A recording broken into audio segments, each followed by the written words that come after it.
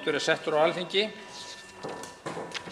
Uh, útbýtt var utan þingfundar 18. apríl síðastliðinn.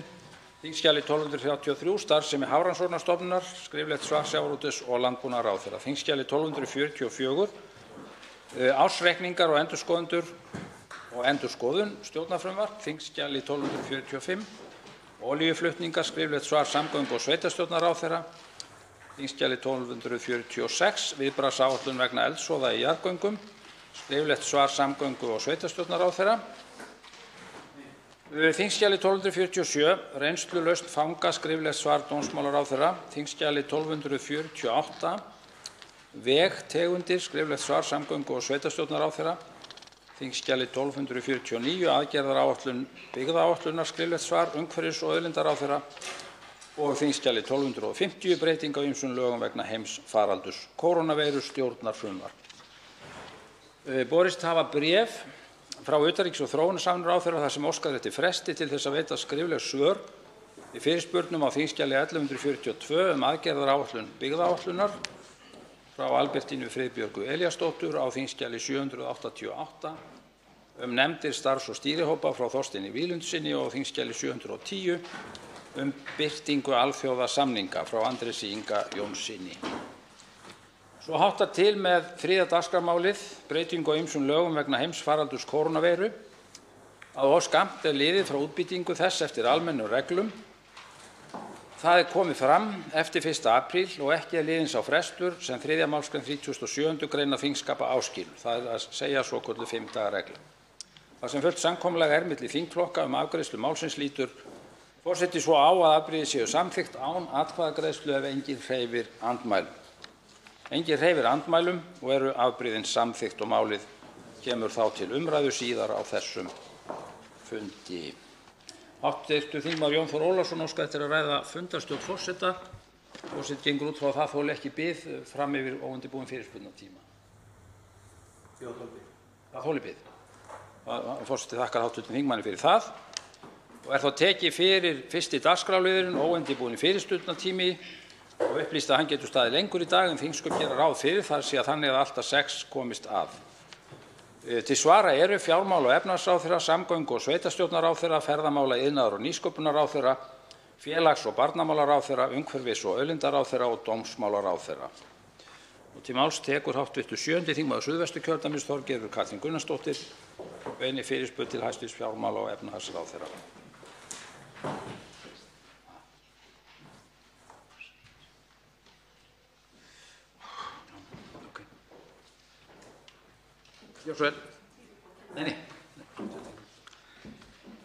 Virðulegi forseti, við í Viðreisn við höfum lagt skýra áherslu á það að, styðja við þau mál ríkisstjórnar sem auka og auðvelda viðspyrnu efnahags og, atvinnulífs, heimila og fyrirtækja. Og munum halda sjálfsögðu þeir vinnubröðum áfram að koma með úrbætur, vera með málefnulegt aðhald, spyrja spurninga eins og hlutverk okkar lýðræðislegt segir til um. Á morgun mun ríkisstjórnin kynna uh, nýjan efnahagspakka og nýjan aðgerðapakka og ég vil fagna því sérstaklega því það nú liðir, liðin tæpur mánuði síðan að síðusti pakki var kynntur og það er náttúrulega langur tími á svona óvissutímum. Og mig langar að fá fram hjá hæstv. fjármálaráðherra hvort að það verði ekki örugglega hugsað til lítilla fyrirtækja meðal annars í formi þess að fella niður, eins og við í stjórnarandstöðu annars lögðum til á sínum tíma, að leggja niður tímabundið tryggingagjaldið. Ég vil sérstaklega inna hæstv. ráðherra eftir því hvort að það verði hugað að því að endurgreiðsluhlutfall til nýsköpunar, rannsókna og þróunar verði hækkað í þessum aðgerðapakka og líka það hvort að ráðherra sjái fyrir sér að við hugum að breytingu á hlutastarfaleiðinni, m.a. til þess að koma til móts við sjónarmið nýsköpunarfyrirtækja. Mig langar líka að fá fram, og ég vil fagna því sérstaklega sem ég hjó eftir hjá, hjá ráðherra, að það verði hugað að einyrkjum. Erum við þá að tala um að það verði stuðningur til þeirra sérstaklega litlu og fyrirtækja og einyrkja sem þurftu meðal annars að loka sinni starfsemi tímabundið og síðast en ekki síst þá vil ég spyrja ráðherra hvort að í pakkanum á morgun verði ekki öruglega stuðningur uh, í einhverju formi til fjölmiðla við gerum okkur grein fyrir því að ríkisstjórnin er ósammála um stuðning sinn varðandi fjölmiðlafrumvarp menntamálaráðherra hæstvirts en ég held að liggi alveg ljóst fyrir að fjölmiðlar þurfi núna líka eins og önnur fyrirtæki að tímabundnum aðgerðum að halda og ég spyr mun, næsti pakki sem að verði kynntur á morgun inni halda þær tillögur? Þá svarar hæstv. fjármála- og efnahagsráðherra Bjarni Benediktsson óundirbúnum fyrirspurnum nokkrum. Virðulegi forseti. Það er dálítið erfitt að bregðast við þessari fyrirspurn í ljósi þess að við höfum hugsað okkur að kynna okkar aðgerðir á morgun. Ég get þó sagt að öll þessi atriði sem eru nefnd hérna eru sérstaklega til skoðunar. Segja við höfum frá upphafi verið að horfa til smærri fyrirtækja. Þar eru flest störfin og samkvæmt öllum hefðbundnum skilgreiningum á litlum og meðalstórum fyrirtækjum þá erum við bara að tala um bróðurpartinn af öllum fyrirtækjum í landinu. Við já erum að horfa til fyrirtækja sem hefur verið gert að loka starfsemi sinni og við höfum verið að spyrja okkur hvernig við getum komið til móts við þeirra sérstaka vanda, hvað sé sanngjarnt að gera í því. Við höfum sömuleiðis tekið eftir umræðunni um stöðu fjölmiðlanna og við höfum gert okkur grein fyrir því að hlutabótaleiðin er ekki að svara öllum álitamálum sem upp koma hjá fyrirtækjum sem hafa ekki kannski þörf fyrir allt það starfsfólk sem er þar með ráðningarsamband. Ég er þeirrar skoðunar að varðandi þann þáttinn sérstaklega að þá hafi töluvert siglt í álinn frá því að við kynntum okkar fyrstu aðgerðir, frá því t.d. að hlutastarfaleiðin var lögfest, að þá hafi útlitið ekki batnað sem kallar þá á umræðu um það með hvaða hætti við sjáum fyrir okkur að mánuðirnir eftir að hlutastarfaleiðinni lýkur samkvæmt lögum eigi að líta út. Þar er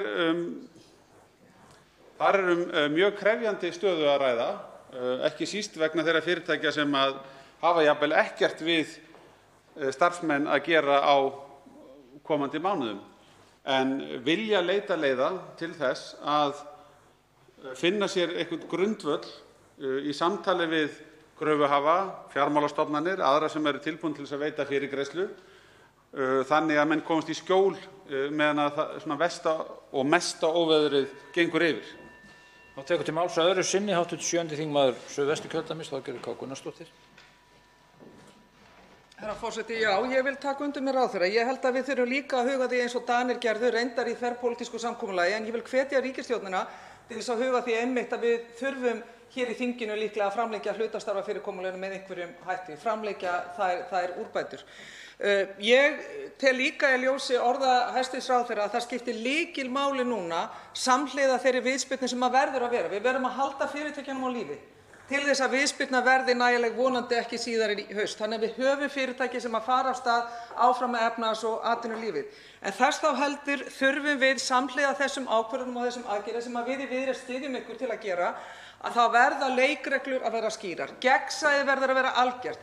Því hluti af því að krafturinn í viðspyrnunni verði meiri í haust með fyrirtækjunum og heimilunum er að þær aðgerðir sem við grípum til til þeirra fyrirtækja sem við erum m.a. að miðla fjármagni til séu trúverðugar, að það ríki traust um viðspyrnuna og þannig verður krafturinn meiri. Þannig að ég beini því til hæstv. ráðherra: Höfum leikreglurnar skýrar varðandi uppbygginguna núna strax frá fyrsta degi. Og svarar hæstv. ráðherra síðara sinni. Virðulegi forseti. Já, ég get tekið undir það. Það skiptir mjög miklu máli að við séum að vinna með einhverjar meginreglur og það sé gegnsæi um beitingu þeirra úrræða sem við erum að kynna til sögunnar. Þannig höfum við t.d. lögleitt eftirlitsnefnd með brúarlánunum og það kemur til greina að sú nefnd fái útvíkkað hlutverk eftir því hvernig tillögum ríkisstjórnarinnar verður tekið sem eru væntanlegar. Ég fagna sömuleiðis áherslu hv. þingmanns á það að koma efnahagsstarfseminni aftur í gang vegna þess að það er jú meginverkefni okkar. Það sem er að í augnablikinu er ekki það að velferðarnetið okkar sé ekki nægilega þéttriðið. Við erum með öflug stuðningskerfi. Við erum líka með þessa sjálfvirku sveiflujafnara. Þeir eru einmitt að gegna sínu hlutverki núna eins og þeim er ætlað. Það sem er að er að það er stór hola í tekjuöfluninni og verðmætasköpunin hefur fallið í landinu og við eigum að beina öllum kröftum okkar að því að laga það vandamál. Það er grunnurinn að öllum okkar áhyggjum. Þá tekur til máls hv. 11. þingmaður Reykjavíkurkjördæmis norður, Halldóra Mogensen, og beinir fyrirspurn til hæstv. fjármála- og efnahagsráðherra. Forseti. Uh, okkur er tíðrætt um samstöðu þessa dagana. Hæstv. forsætisráðherra talaði um samstöðu þegar hún hvatti fyrirtæki í sjávarútvegi til þess að falla frá milljarðakröfum sínum á ríkissjóð vegna þess að, með, með leyfi forseta, það er ekki góð leið til að efla samstöðu í samfélaginu, það er ekki góð leið til að vera á sama báti gegnum það ferðalag sem við erum stödd í. Þó að ég telji að ríkið hafi góðan málstað í þessu máli finnst mér eðlilegt að þessi fyrirtæki íhugi að draga kröfurnar til baka. Nú reynir nefnilega á ábyrgð okkar allra, hvort sem við erum að reka fyrirtæki, erum launafólk, þingmenn eða hver sem við erum. Framundan eru brattar brekkur, ekki bara hvað varðar takmarkanir á samkomum, það eru brattir tímar framundan í efnahagslífinu. Forseti. Ég er sammála hæstv. forsætisráðherra og vil því ræða ábyrgð og samstöðu ráðherra og þingmanna með almenningi við hæstv. fjármálaráðherra. Gríðarlegar efnahagsþrengingar blasa við og valda mörgum miklum tekjumissi og jafnvel atvinnumissi. En á sama tíma stendur til að framkvæma launahækkun þingmanna og ráðherra um næstu mánaðamót. Sú framkvæmd mun fela í sér afturvirkar greiðslur fyrir fjóra mánuði ásamt því að laun ráðherra hækka um rúm 100.000 á mánuði, laun forsætisráðherra um 130.000 og laun okkar þingmanna um tæp 70.000.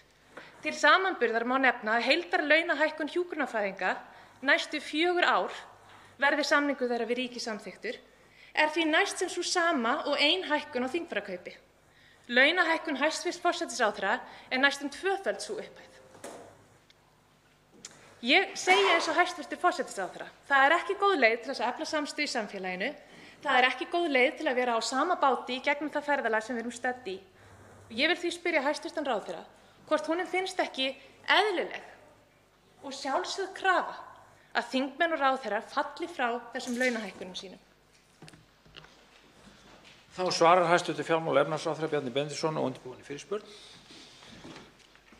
Forseti. eh, Ég eh, ætla að byrja á því að leiðrétta hv. þingmann þegar að hún segir að það standi til að framkvæma einhverja launahækkun. Eh, Það er engin ákvörðun sem að er verið að taka núna. Það er, ekki verið að taka neina ákvörðun um þessi mál, bara ekki yfir höfuð. Alþingi hins vegar tók ákvörðun fyrir bráðum ári síðan að fresta launahækkun sem átti að koma til framkvæmda um mitt síðasta sumar til áramóta. Og í lögum stendur að laun þeirra sem að hv. þingmaður vísar til hafi hækkað 1. janúar. Það bara stendur í lögum. Ég hef ekki verið að taka neina ákvörðun um þessi efni, ekki bara yfir höfuð nokkra einustu, nema þá að ég lagði til hér við þingið fyrir nokkru síðan að við myndum fresta hækkunni sem á að koma til framkvæmda í sumar um sex mánuði. Það er þá í annað skipti sem að sú tillaga kemur fram á einu ári að við frestum launahækkunum til þingmanna sem hafa engar verið frá árinu 2016. Og ég vek athygli á því að við birtum á vef fjármálaráðuneytisins fyrir nokkrum dögum síðan yfirlit yfir launaþróun uh, þingmanna, ráðherra, æðstu embættismanna og settum í samhengi við launahækkanir annarra síðastliðinn rúman áratug. Og það er alveg augljóst af þeim samanburði sem er sá samanburður sem var lagður til grundvallar í samtali við vinnumarkaðinn á sínum tíma að þingmenn og ráðherrar eru eftirbátar annarra þegar kemur að launahækkunum undanfarin rúman áratug. En það sem ég orðinn leiður á að ræða þetta mál hér í þingsal, að menn skuli ekki geta komið sér saman um það yfir höfuð að finna eitthvað fyrirkomulag sem lætur þessa hluti ganga sinn vanagang yfir árin. Við lögðum niður kjaradóm, við lögðum niður kjararáð og það er stutt síðan við ákváðum að festa viðmið um þessi efni í lög. En það er ekki einu sinni búið að framkvæma eina einustu breytingu á lögunum síðan þetta var ákveðið áður en að menn koma hingað upp í þingsal og ætla að slá sig til riddara með því að taka málin upp að nýju. Ég spyr bara, hvernig í ósköpunum á að yfir höfuð að vera hægt að finna eitthvað fyrirkomulag þegar okkur gengur svona illa með þriðja fyrirkomulagi á rúmum, rúmum áratug? Þá tekur til máls síðara sinni hv. 11. þingmaður Reykjavíkurkjördæmis norður, Halldóra Mogensen. Forseti, ég myndi segja að mér þætti leðilegt að hafa pyrrað hæstv. fjármálaráðherra en mér þykir það bara ekkert leðilegt. Hæstv. fjármálaráðherra pyrrast yfir minnstu hlutum. En mér finnst leiðilegur þessi orðhengilsháttur. Ég nota ekki rétt orð og þá einhvern veginn lagfæra það að þetta snýr ekkert að því hvað orð maður notar. Jú, jú, það stendur í lögum að það var launahækkun þingmanna og ráðherra 1. janúar. Ég veit það vel að það hefur átt sér stað. Spurningin mín snýr ekki að því. Þetta er ekkert eðlilegir tímar. Við erum ekkert að tala um það að þetta sé einhverjir eðlilegir tímar hérna og við höfum rétt á okkar eðlilegu launahækkun. Ég veit að, hérna, að ráðherra tók ekki ákvörðun um þessa launahækkun, þetta er vísitölahækkun. En við þurfum samt að taka ákvörðun um hvort við ætlum að vera í sama báti og almenningur er akkurat núna. Eða hvort við eigum að fá okkar launahækkanir á meðan aðrir að fá skerðingar. Það er spurningin mín. Sko, hver er afstaða hæstv. fjármála- og efnahagsráðherra til þeirra kröfu að þingmenn og ráðherrar hækki ekki í launum á sama tíma og við stefnum beinustu leið í djúpa efnahagskreppu út af því að það er raunin. Þessi launahækkun hún felur í sér að við hækkuðum í launum, hún var ekki framkvæmd á réttum tíma þannig að það var framkvæmd hana núna 1. maí. Þá erum við að fá peninga á okkar bankareikning og við erum að hækka í launum. Er það eðlilegt á þessum tíma að við hækkum í launum? Eigum við ekki að vera í sama báti eins og hæstv. forsætisráðherra sagði með öllum almenningi í landinu? Það er spurningin mín. Og svarar hæstv. ráðherra síðar að sinni. Virðulegi forseti. Ég vildi bara að það væri alveg á hreinu að þessari fyrirspurn er beint til mín. Ég er ekki að taka neina ákvörðun, hef ekkert lagt til við þingið annað en það að fresta næstu launahækkun. Það var þingið sjálft sem ákvað þá hækkun sem tók gildi um áramót og það sé rétt hjá hv. þingmanni að hún hafi ekki enn verið greidd út. Það er ekki samkvæmt minni ákvörðun. Þetta er sanngjörn spurning sem er borin hér upp. Hvað finnst mér um það að æðstu embættismenn ríkisins tækju á sig launaskerðingar núna við þessar aðstæður til þess að sýna gott fordæmi og fylgja öðrum í samfélaginu? Mér finnst það vel komið til greina. En það nýjasta sem við höfum reyndar gert í þessum efnum er að semja núna síðast við hjúkrunarfræðinga um, um launahækkanir. Þar áður við sjúkraliða og þar áður við BHM og aðrar opinber uh, stéttarfélög og á almenna markaðnum hefur þessi spurning verið borin upp og af stéttarfélögunum var því hafnað. Þannig að það er engin slík hreyfing í gangi nema hvað snertir þá sem er að tapa starfi sínu. Og það er mjög alvarlegt mál. Og þau mál erum við að ræða hérna í fjölmörgum þingmálum e, í þingsal en mér finnst hins vegar vel komið til greina ef það tekst eitthvert alvöru samtal um það að fara í launafrystingar eða lækkanir þá ættu hinnir opinberu embættismenn, þeir sem eru æðst, í æðstu stjórn ríkisins, að leiða þá breytingu, þá þróun. Þá tekur til máls 87. þingmaður Suðvesturkjördæmis Gunnar Bragi Sveinsson og beinir fyrirspurn til fjármála- og. Hæstvirt. Herra forseti. Eh, Það hefur ítrekkað komið fram hér í þessu ræðastofur annar staðar að við lifum að sjálfsögðu á mjög sérkynlegum tímum þessa dagana. Ég hugsa að allir þingmenn fái í pósthól sín óskir eða ábendingar eða jafnvel ákall frá fyrirtækjum út um allan bæ sem eru að lýsa stöðu, þeirri stöðu sem þau eru í. Og víst er að það að heil atvinnugrein ferðarþjónustan er nánast að hrunni komin. En við megum ekki hegða okkur samt þannig eða grípa til ráðstafana eða grípa ekki til ráðstafana sem verða til þess að jafnvel aðrar atvinningreinar eða önnur fyrirtæki lendi í vanda. Og því langar mig, af því ég hef ágjur að því og ég veit að margir hafa ágjur að spyrja hæsta ráðherra um, um annað vandamál sem að ofur yfir okkur og það er þær viðræður sem að viðræður leysi milli Landsvirkjunar og Rio Tinto Alcon, Ísal ætla að leið mér að kalla hér eftir, um stöðu þess fyrirtækis. Við vitum að það fyrirtæki hefur átt í verulega rekstrarvanda í langan tíma. Þarna eru hundruði beinna starfa sem tengast þessi fyrirtæki. Það eru auðvitað þúsundir störf í húi þegar allt er talið. En einhvern veginn er mikil óvissa bæði fyrir allt þetta starfsfólk, varandi öll þessi störf, varandi sveitafélögin sem að hluta að máli. Mér langar einfallega að spyrja þetta ráðherra hvort að þessi mál hafa komið inn á borð fjármála efnahagsráðherra. Hvort að ráðherrann hafi beitt sér eitthvað í þessu máli. Hvort að, að hann hafi komið að viðræðum eða ráðunauti að viðræðum milli Landsvirkjunar og Ísal og þó um leið hvort standi til að beita sér í málunum með einhverjum hætti því að það er útlit fyrir tölvöru líkur á því virðist vera í fyrsta lagi að þetta fyrirtæki fari í, í mál gegn fyrirtækin Landsvirkjun og öðru lagi er veruleg hætt á því að það er hreinlega loki eða byrja að draga starfsemi sinni hér í sumar? Svarar hæstv. fjármála- og efnahagsráðherra Bjarni Benediktsson óundirbúinn í fyrirspurn. Virðulegi forseti, hér er snert á máli sem er alveg fullt tilefni í sérstaka umræðu hérna í þinginu. Ég vil byrja á því að segja að ég hef á undanförnum mánuðum haft uh, töluvert miklar áhyggjur af öllum orkufrekum iðnaði á Íslandi. Og meðal annars af því tilefni þá gerðum við okkur ferð, ég og hæstv. iðnaðarráðherra, uh, til helstu fyrirtækja á þessu sviði. Við fórum bæði inn í Straumsvík, við fórum upp á Grundartanga og töluðum við fyrirtækin þar og við líka fórum austur á firði og uh, settumst niður með Fjarðaáli og spurðum spurninga sem að lúta að þeirra almenna rekstrarumhverfi um þessar mundir. Og það er alveg ljóst að það hefur mjög þrengt uh, að þeirra rekstrarskilyrðum á alþjóðlegum mörkuðum.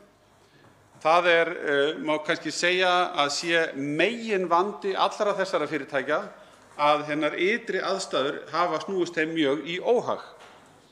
Það er spurt sérstaklega að því hvort að uh, ég sé inni í viðræðum Rio Tinto og Alcan við Landsvirkjun að þá, hef, þá get ég sagt að já, ég hef átt fundi með Rio Tinto sem að óskuðu sérstaklega eftir fundi með mér.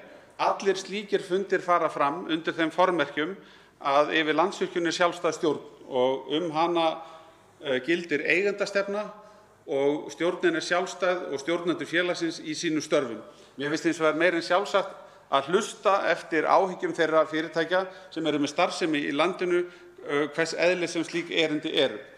Allt sem að lítur að raforkusamningu við Landsvirkjun verður að eiga sér stað samtal um í millilegalausum viðræðum milli fyrirtækjanna og ég hef haft upplýsingar frá Landsvirkjun um það að þær viðræður séu í gangi. Þannig að ég ætla að leyfa mér að binda vonir við að uh, þessi mikilvægi viðskiptavinu Landsvirkjunar geti fengið um, í uh, samskiptum við Landsvirkjun uh, lausn á sínum helstu áhyggjuefnum sem ég er ekki inni í, í neinum smáatriðum.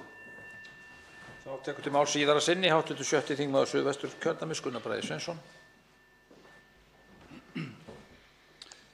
Herra forseti, ég undrast nokkuð að það virðist vera sem að, ráðherra sé að segja okkur að, hann hafi ekki þurft samt til þess eða ekki hafi, haft beitt sér sérstaklega í málinu. Mér langar að spyrja ráðherra hvort það telji komið til greina að beita sér frekar í málinu.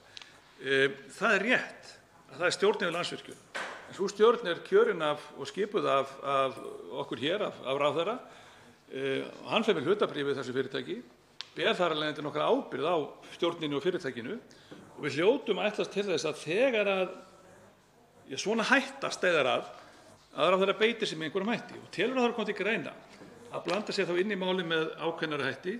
Telur ráðherra komið til greina að, fara yfir málið með forstjóra Landsvirkjunar? Því að það er ekki að finna neitt sáttatón í orðum forstjóra Landsvirkjunar í fjölmiðli það minnsta þegar kemur að málum þessa fyrirtækis.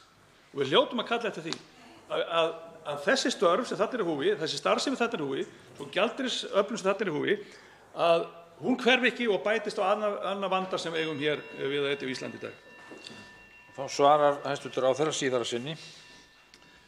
Virðulegi forseti, það er, það er sjálfsagt að greina frá því að ég ásamt með iðnaðarráðherra átti fund með uh, forstjóra og stjórnarformanni Landsvirkjunar í síðustu viku þar sem við höfum óskað sérstaklega eftir mati Landsvirkjunar almennt á rekstrarskilyrðum viðskiptavina Landsvirkjunar en uh, ég verð hins vegar að lýsa mig ósammála hv. þingmanni þegar kemur að því að stjórnvöld geti beitt sér gagnvart fyrirtækinu vegna þess að það, því eru mjög uh, þröng skilyrði sett þar sem að Landsvirkjun er fyrirtæki sem að starfar á samkeppnismarkaði. Það er hins vegar ofboðslega mikilvægt að við hér í þinginu og stjórnvöld almennt séum vel upplýst um stöðu þessa mikilvæga iðnaðar í landinu sem er orkufrekur iðnaður. Vegna þess að hér er verið að snúa raforku í gríðarlega mikil verðmæti fyrir þjóðarbúið og eins og hv. þingmaður nefndi um, hundruð og þegar saman er tekið þúsundir starfa sem eru undir og miklir hagsmunir þeirra sveitarfélaga sem að eiga í hlut.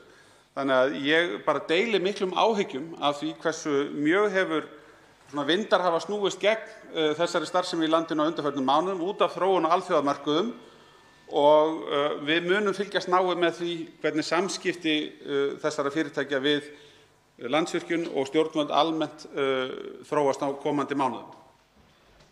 Þá tekur til máls hv. 12. þingmaður Suðvesturkjördæmis Guðmundur Ingi Kristinsson og beinir sömuleiðis fyrirspurn til hæstv. fjármála- og efnahagsráðherra. Virðulegur forseti. Í óundirbúnum fyrirspurnum 23. mars síðastliðinn var ég að ræða verðtrygginguna og áhyggjur af þróun hennar við hæstv. fjármálaráðherra. Og þá sagði hann orðrétt, leyfi forseta: „Ég vek athygli á því að eftir yfirlýsingu Seðlabankans frá því í morgun hafa vextir á verðtryggðum lánum fallið niður í 0%, ekki bara til skamms tíma heldur allt fram til ársins 2026. Virðulegur forseti. Ég spyr: Fór hæstv. fjármála- og efnahagsráðherra til spákonu eða spámiðils til að fá þessar upplýsingar um 0% vexti næstu sex árin? Er þetta satt og rétt?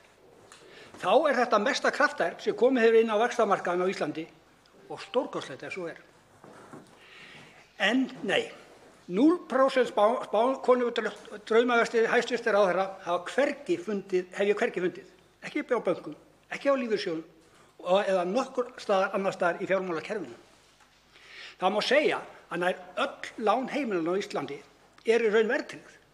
Óverðtryggð lán taka mið af verðbólgu. Þá ber þess að geta að nær allir leigusamningar á Íslandi eru verðtryggðir og því mun þak á verðtrygginguna hafa gríðarleg áhrif á leigu og því skiptir gríðarlegu máli að fá alla þá sem eru fyrir það alla þá sem eru á leigumarkaði. Ef ekkert er að óttast um verðbólguskot er þá ekki í lagi að taka verðtryggingusambandið nú þegar til þess að róa fólk og eyða ótta þess að verðbólga fari af stað með eignarhlutabólu eins og 15.000 fjölskyldur urðu fyrir í bankahruninu. Ég spyr því hæstv. ráðherra fjármála: Er þetta bara draumur í dós um 0% vexti í sex ár að verðtryggðu lánum heimilanna og ef svo er ekki, hvernig verður það þá framkvæmt? Þá svarar hæstv. fjármála- og efnahagsráðherra Bjarni Benediktsson á undirbúinni fyrirspurn. Virðulegi forseti. Það sem ég var að vísa til þennan morguninn sem hv. þingmaður vísar til var bara einfaldlega hver markaðskrafan var þann daginn. Við hefðum kannski, ég hefði kannski frekar átt að tala um ávöxtunarkröfuna á þessi bréf. Við erum sem sagt búin að ná þeim árangri á undanförnum árum að trúverðugleiki opinberra fjármála hefur vaxið þannig að þegar Seðlabankinn grípur til svona stórra aðgerða eins og þarna átti við og lækkar vexti þá hafa menn trú á aðgerðum bankans. Og það birtist í viðbrögðum markaðsaðila. Með því að lesa í lesa í viðskipti með fjármálagerninga sem taka til nokkurra ára inn í framtíðina þá má sjá hver trú markaðarins er hvað varðar vexti og verðbólgu inn í framtíðina og um það vorum við að ræða þennan morguninn.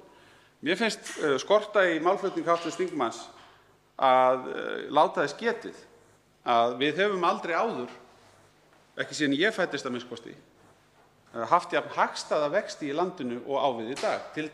á húsnæðislánum. Vextir Seðlabankans hafa aldrei áður verið lægri. Sumum finnst þeir ættu að vera enn lægri en þeir eru í dag og vísa til þess að þeir hafi í hlutfalli við þá vexti sem voru til staðar áður en þessi Covid-faraldur reið yfir lækkað minna hér á landi heldur en annars staðar. Mögulega eigum við inni einhverjar frekari vaxtalækkanir en ef umræðan á að snúast um vextina sem slíka þá verðum við a.m.k. að halda því inni í umræðunni að þeir hafa aldrei áður verið hagstæðari. Svo getum við tekið aðra umræðu um það hvort það sé einhver hætta á verðbólguskoti. Ég er bara eins og aðrir hvað það snertir að um leið og maður sér einhver merki um hættu á verðbólgu þá er ástæða til að hafa áhyggjur en sem komið er er enginn að gera ráð fyrir miklu verðbólguskoti. Það er bara staðreynd. Þá tekur til máls síðar að sinni hv. 12. þingmaður Suðvesturkjördæmis Guðmundur Ingi Kristinsson. Virðulegur forseti. Ég þakka hæstv. ráðherra svarið og jú, þetta hlaut að vera draumur að það væri 0% vextir. Þeir eru hafa nú komið fram ellendis en verðbólguskotið sem hann hefur ekki áhyggjur á af, ég meina hvers vegna þá ekki að slá á ótta heimilanna og bara taka þetta úr sambandi? Gerum við, höfum bara vaðið fyrir með okkur og tökum verðtryggingu úr sambandi þannig að það sé tryggt að hún fari ekki á flegi ferð. Vegna þess að við erum átt okkur á því að núna er að minka að tekjur 2019 að erlendu ferðarmönnum voru 700, 470 milljarðar. Það gengur fljótt á, á gjaldisfólk og gengið er á, í, í frásefalli. Allt hækkar, vörur og allt saman. Og, hérna heimilin er þegar fann að finna fyrir því og sérstaklega þeir sem verst standa. Þannig að það má ekki bæta við ofan á það að heimilin, að vexti og, og að verðtryggð lán í að fara af stað. Og hversu mikið óskopunum, ef þið hafa engar áhyggjur af þessu, þá myndu þið slá rosalega mikið ótta fólks með því að taka það bara verðtryggingu sambandi. Sjá til þess vegna það, það ætti ekki að vera mikið mál, þetta er engin óttast neitt. Þá svarar hæstv. ráðherra síðara sinni. Virðulegi forseti, hv. þingmaður segir að þetta ætti ekki að vera neitt mála því að það er enginn að gera ráð fyrir verðbólgu hvort þið er. En þetta er bara einfaldlega stórmál. Það er einhver viðtakandi vaxta og verðbóta á hinum endanum og það vill þannig til að það eru lífeyrisþegarnir í landinu sem að fara þar fremstir í flokki. Og ef menn vilja gera þetta, að taka þessa hluti úr sambandi inn í framtíðina, þá verða menn að svara því hvernig eigi að bregðast við ef á þetta reynir. Og við getum alveg verið bara hérna, sko, að taka frá tíma í aðra umræðu sem væri bara, ef við ekki bara ákvæða hvað verðbólgan er. Af hverju gerum við það ekki bara? Ætti nú ekki að vera mikið mál. Þetta er jú bara einhver mælistika sem við höfum ákveðið að skrifa inn í lög. Af hverju tökum við ekki bara ákvörðun um það að á Íslandi verði á næstu árum bara 1% verðbólga? Hvers vegna ekki? Og líka bara 15 stiga hiti að jafnaði. Það er hægt að nálgast þessa umræðu svona. Ef við ætlum að vaða inn í alla þá fjármálagerninga sem hafa þegar verið gefnir út og eru grundvöllurinn að kjörum lífeyrisþega í landinu og ætlum að kippa þau á sambandi, þá þurfum við að svara spurningunni hvaða afleiðingar á það að hafa fyrir lífeyrisréttindin. Þá tekur til máls hv. 4. þingmaður Reykjavíkurkjördæmis norður, Helga Vala Helgadóttir, og beinir fyrirspurn til fjármála- og efnahagsráðherra hæstv. Herra forseti. Ég óska eftir að eiga orðastað við hæstv. fjármála- og efnahagsráðherra um fjármagn til heilbrigðiskerfisins vegna og í kjölfar Covid-faraldurs. Heilbrigðisráðuneytið kallaði eftir heilbrigðismenntuðu starfsfólki í svokallaða bakvarðasveit og svöruðu margir kallinu. Voru sem dæmi ráðnir 50 bakverðir á Heilbrigðisstofnun Vestfjarða sem er rúm 30% aukning á starfsfólki. Á Landspítala voru ráðnir 137 bakverðir, hjúkrunarfræðingar, sjúkraliðar, læknar og fleiri, auk fjölda starfsfólks sem áður var hjá Isavia sem nú hefur verið þjálfað í annars konar störf á Landspítala. Heilbrigðisstofnunum hefur verið gert að halda saman kostnaði sem beint leiðir af þessari baráttu við Covid-veiruna og senda stjórnvöldum reglulega. Þess vegna vil ég spyrja hæstv. fjármálaráðherra hvort hann hafi einhverja yfirsýn yfir þann kostnað sem nú þegar hefur fallið til vegna bakvarðasveita og hvenær það verður gert upp. Þá vil ég einnig spyrja hæstv. ráðherra hvort ríkisstjórn Íslands hyggist fara sömu leið og t.d. í Svíþjóð, í Noregi, í Þýskalandi og víðar og nýta þær heimildir sem fyrir eru í kjarasamningum opinberra starfsmanna þess efnis að greiða starfsfólki aukalega vegna starfstengds álags nú á Covid-tímum. Í Svíþjóð var t.d. farin sú leið að tvöfalda laun þeirra og í Þýskalandi fær framvarðasveitin 250.000 kr. Skattfrjálsa greiðslu vegna faraldurs. Þar sem nauðsynlegt er fyrir heilbrigðisstofnanir um allt land að fá skýr svör um fjármagnið spyr ég hæstv. ráðherra í lokin hvort ríkisstjórnin muni tryggja heilbrigðisstofnunum framlag í fjárauka núna svo ekki fari á milli mála að þeim verði veitt nauðsynlegt fjármagn í reksturinn en ekki bara einhver óljós loforð inn í mjög óvissa framtíð. Þá svarar hæstv. fjármála- og efnahagsráðherra Bjarni Benediktsson og undirbúinn fyrirspurn. Virðulegi forseti, við höfum nú, tel ég, rætt þetta áður. Það er alveg skýrt að uh, allur ófyrirséður kostnaður sem heilbrigðiskerfið tekur á sig út af þessum faraldri, hann þarf að koma inn í fjárauka síðar á þessu ári þegar það liggur fyrir hver heildartalan er. Það þarf enginn að efast um það að það verða tryggðar fjárheimildir til heilbrigðisstofnana til að takast á við allan viðbótarkostnað út af faraldrinum. Hvað varðar heilbrigðisstarfsfólkið sem hefur verið í framlínunni þá höfum við verið að hugsa til þess hóps líka sérstaklega og við munum greina nánar frá því síðar hvernig við viljum koma til móts við þann hóp. Ég er nú þeirrar skoðunar að þessi mál séu í ágætisfarvegi. Það er rétt að það eru dæmi frá öðrum löndum, í fyrsta lagi að stjórnvöld hafi komið því skýrt til skila að heilbrigðiskerfið verði fjármagnað. Ég tel að við séum bara í þeim hópi ríkja sem hefur gefið þá yfirlýsingu. Það á ekki að vera neinn vafi um að við ætlum að fjármagna heilbrigðiskerfið vel í gegnum þennan faraldur. Og síðan er það þannig í hinum ýmsu löndum að það er gert ráð fyrir því sérstaklega fyrir fram, eins og mér fannst hv. þingmaður koma inn á, að það geti komið til sérstakra álagsgreiðslna í kjarasamningum í viðkomandi ríkjum. Það er að þessu leytinu til kannski ekki alveg hægt að jafna saman við stöðuna hérna á Íslandi þar sem við erum ekki með viðvarandi slík ákvæði, hvorki lögum né kjarasamningum, en það hefur hins vegar verið tekið sérstaklega til skoðunar og við munum greina frá því síðar eins og ég vék að. Tekur til máls síðara sinni hv. 4. þingmaður Reykjavíkurkjördæmis norður, Helga Vala Helgadóttir.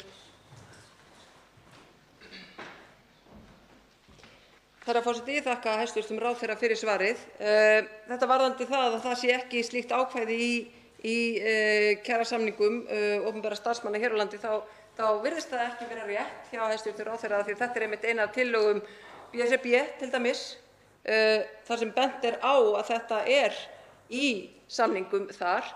En það er þetta með viðbótarkostnaðinn og það að heilbrigðisstarfsfólki og heilbrigðisstofnunum séu gefin skýr svör núna en ekki einhvern tímann í lok ársins. Það er líka þannig að valkvæðar aðgerðir, valkvæðar skurðaðgerðir eins og þær eru kallaðar, sem eru auðvitað ekki val þegar fólk kemst ekki fram úr rúminu vegna nauðsynlegra aðgerða, að þeim hefur verið frestað, þá þarf auðvitað að mæta heilbrigðisstofnunum með líka viðbótarfjárframlagi hvað það varðar. Ég verð að segja að ég hef áhyggjur af heilbrigðiskerfinu okkar þrátt fyrir að þar hafi allir hlaupið alveg ofboðslega að undanförnu. Þá hef ég áhyggjur af hjúkrunarheimilum sem eru vanfjármögnuð, heilbrigðisstofnanir sem eru vanfjármagnaðar og þetta eins og hjúkrunarheimili sem eru rekin af sveitarfélögum sem nú verða fyrir miklu höggi. Þannig að ég vil bara ítreka spurningu mína: Mun ríkisstjórnin taka tillit til þessa núna í næsta pakka til að þessir rekstraraðilar fái skýr svör um að það verði tryggt fjármagn í þessa starfsemi? Forseti. Það er örugglega rétt hjá hv. þingmanni að það eru dæmi um að við höfum einhvern stuðning við slíkar aðgerðir í einstaka kjarasamningum. En ég átti við það í minni fyrri ræðu að ég held að við séum ekki að öllu leyti með sambærilegt fyrirkomulag í kjarasamningum og hefur t.d. verið vísað til í Svíþjóð. En þetta hefur allt verið til skoðunar og ég er sammála hv. þingmanni um það að svar gagnvart heilbrigðisstéttunum það getur ekki beðið fram á haustið eða fram undir lok árs og við munum bregðast við því. Síðan verðum við áfram að halda umræðunni um fjármögnun einstakra heilbrigðisstofnana og það er alveg rétt hjá hv. þingmanni að það hefur aftur hallað talsvert undan fæti hjá heilbrigðisstofnununum eftir að við kláruðum rammasamning hérna fyrir nokkrum árum og það er eins og að það þurfi að nýju að taka upp fjármögnun heilbrigðis ég ætla að tala um hjúkrunarheimilin sérstaklega núna. Hjúkrunarheimilin, við vorum kláruðum rammasamning fyrir þau fyrir nokkrum árum og rekstrarstaða þeirra virðist hafa versnað talsvert síðan það var gert og á því þarf að taka. Þá tekur að síðustu til máls og beinir fyrirspurn til hæstv. ferðamála, iðnaðar og nýsköpunarráðherra, hv. 13. þingmaður Suðvesturkjördæmis, Jón Steindór Valdimarsson. Herra forseti. Ég eins og fleiri ber nokkurn hvítboga fyrir framtíðinni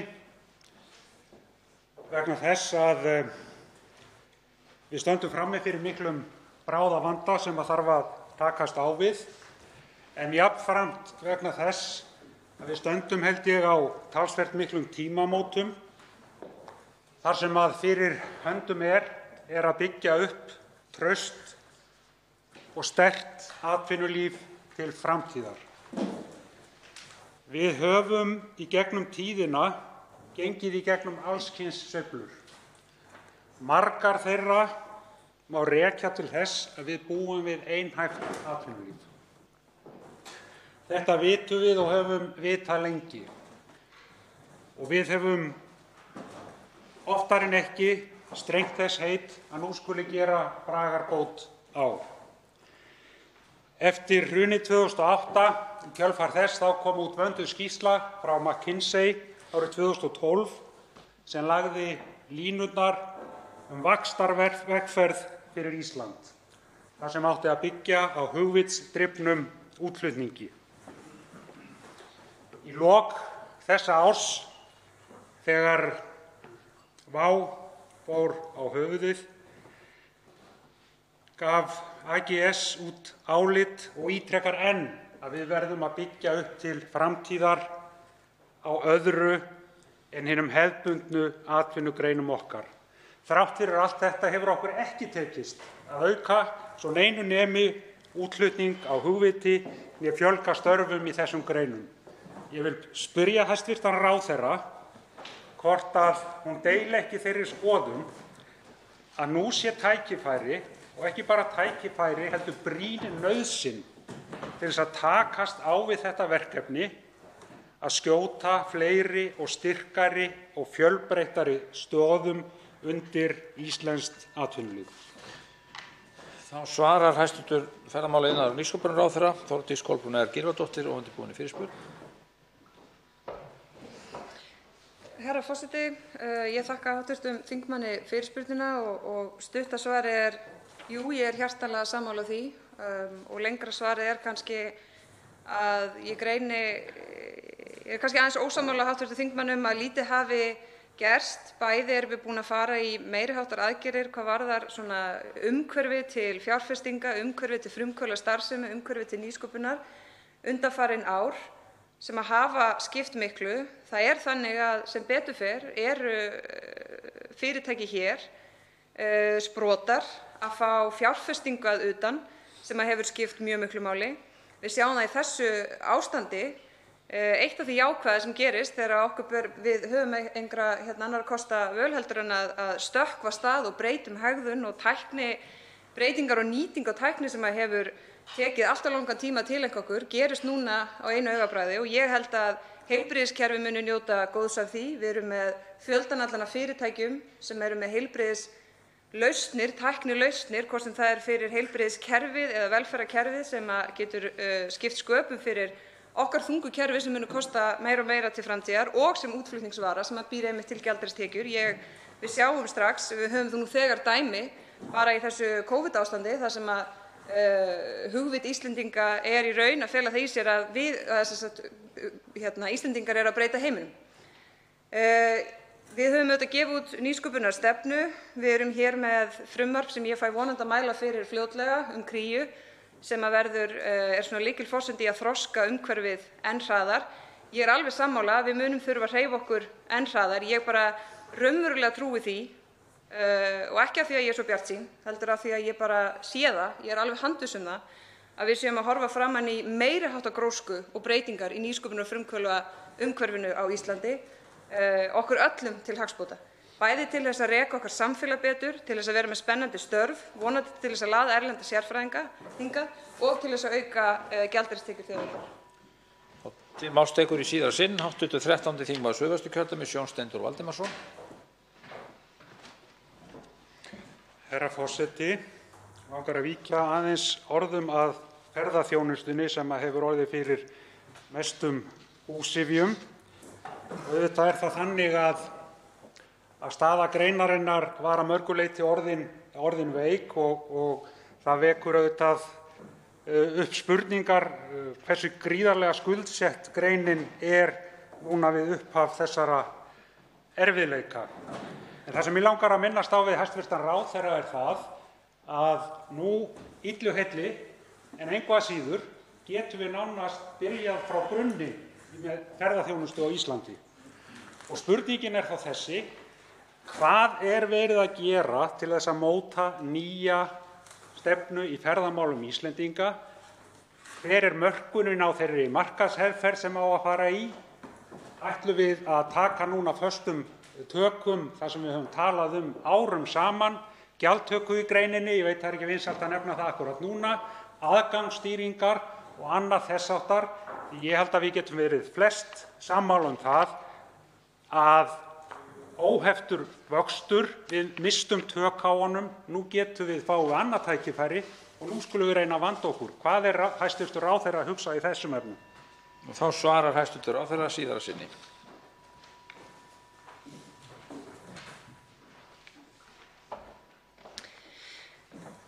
Herra forseti.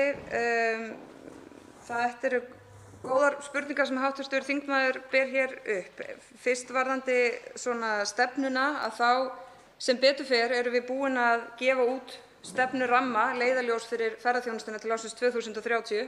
Auðvitað var enginn með þessa mynd í huga þegar sú vinna var unnin en hún var einmitt unnin þannig að hún gæti lifað af hvað sem er. Þannig að þrátt fyrir að við gætum þurft að breyta tölum vegna þess að umsvifin verða uh, allt önnur og minni næstu ár að þá uh, eru leiðarljósin alveg skýr. Og þannig að þegar við komumst í það að fara að byggja upp að nýju að þá eigum við einmitt að halda okkur við þau leiðarljós sem við höfum saman samþykkt, stjórnvöld, greinin og sveitarstjórnarstigið. Markaðsherferðin er að fara af stað. Við erum að klára að skipa stýrihóp og verkefnahóp í því. Við auðvitað óvissan gerir það að verkum við vitum ekki hvenær við getum raunverulega farið af stað og sömuleiðis erum við búin að vinna. Íslandsstofa búin að vinna vinnu sem segir okkur hverjir okkar helstu og verðmætustu markaðssvæði eru en það getur vel verið að það taki stórkostlegum breytingum.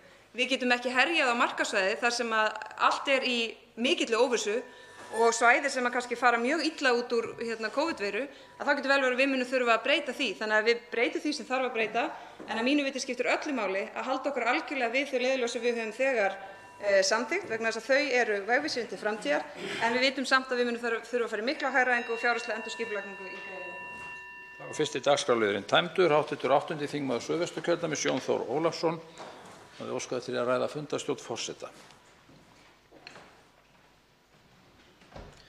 Forseti.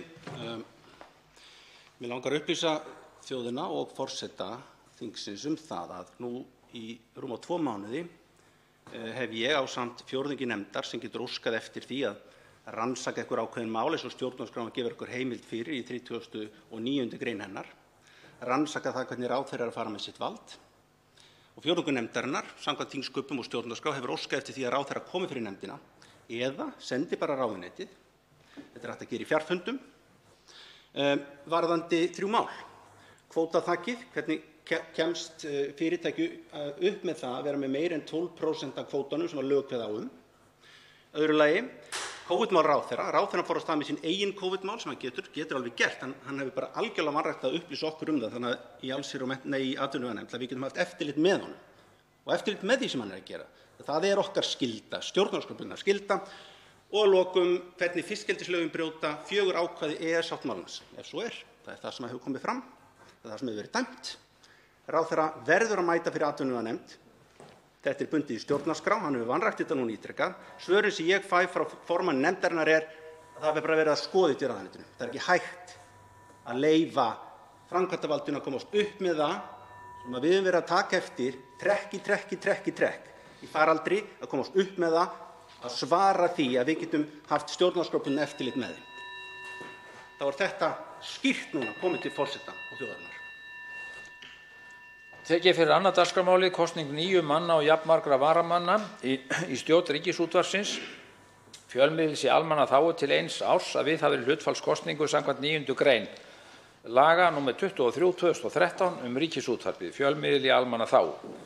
Mér hafa borist tveir listar, einn sem í merki A og á eru nöfnin aðalmenn Ragnheiður Ríkharðsdóttir, Jón Ólafsson, Brynjólfur Stefánsson, Elísabet Indra Ragnarsdóttir og Jóhanna Hreiðarsdóttir.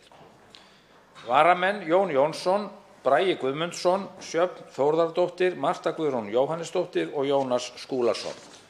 Og annar listi sem í merki B og á eru nöfnin aðalmenn Mörður Árnason, Guðlaugur G. Sverrisson, Lára Hanna Einarsdóttir og Björn Gunnar Ólafsson og varamenn Margrét Tryggvadóttir, Sigríður Valdís Bergvinsdóttir, Mörður Áslaugarsson og Kolfinna Tómasdóttir.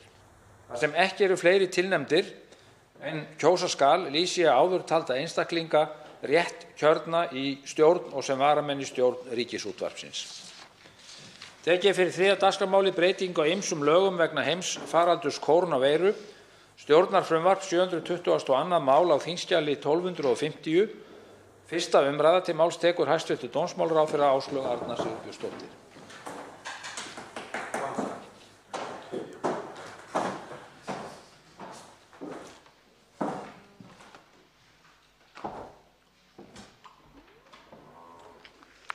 Hæstv. fósiti, ég mæli hér fyrir uh, frumvarpi til laga um breytingu á ýmsum lögum vegna heimsfaraldurs kórónuveiru en markmiðið með því er að lágmarka áhrif samkomubanns og fjarlægðartakmarkana á starfsemi ýmissa stofnana á málefnasviði dómsmálaráðuneytisins og ekki síst dómstóla og sýslumanna svo þær megi sem best sinna lögbundnum skyldum sínum á meðan faraldurinn varir.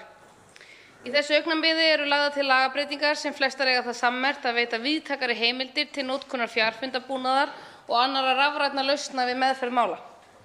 Sumum þessara fyrirhuguðu breytinga er ætlað að ryðja úr vegi hindrunum fyrir rafrænni málsmeðferð og verða varanlegar en aðrar munu einungis eiga við á meðan samfélagslegar takmarkanir eru enn í gildi og markmiðið er að einfalda kerfið fyrir almenning en engin kostnaður eða útgjöld fylgja þessum breytingum.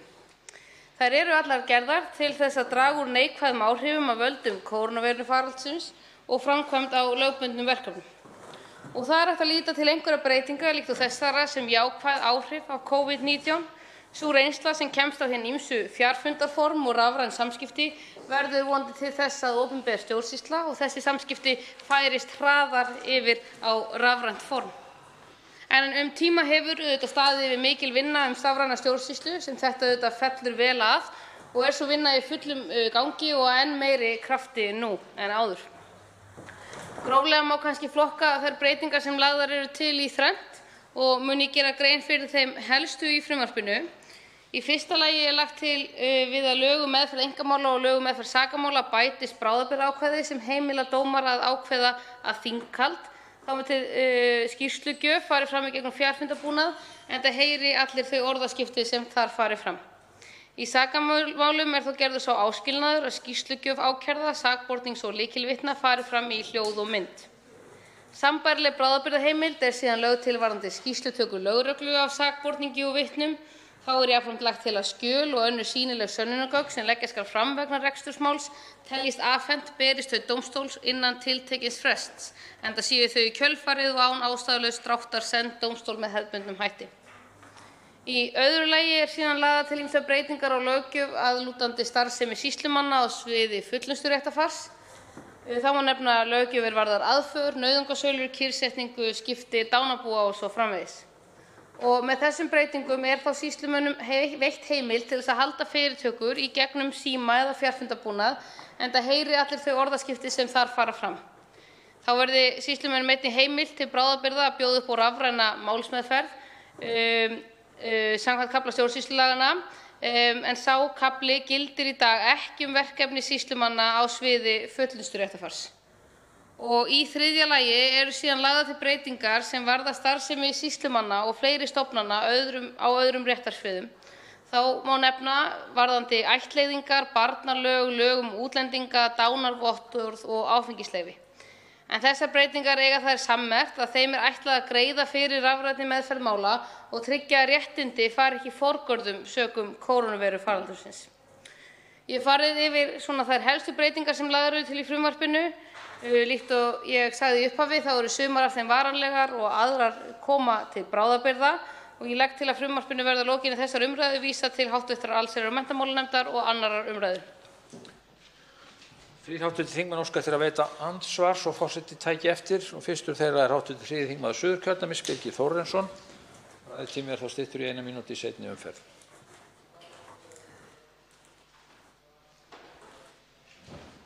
Herra forseti. Ég þakka hæstv. ráðherra framsöguna.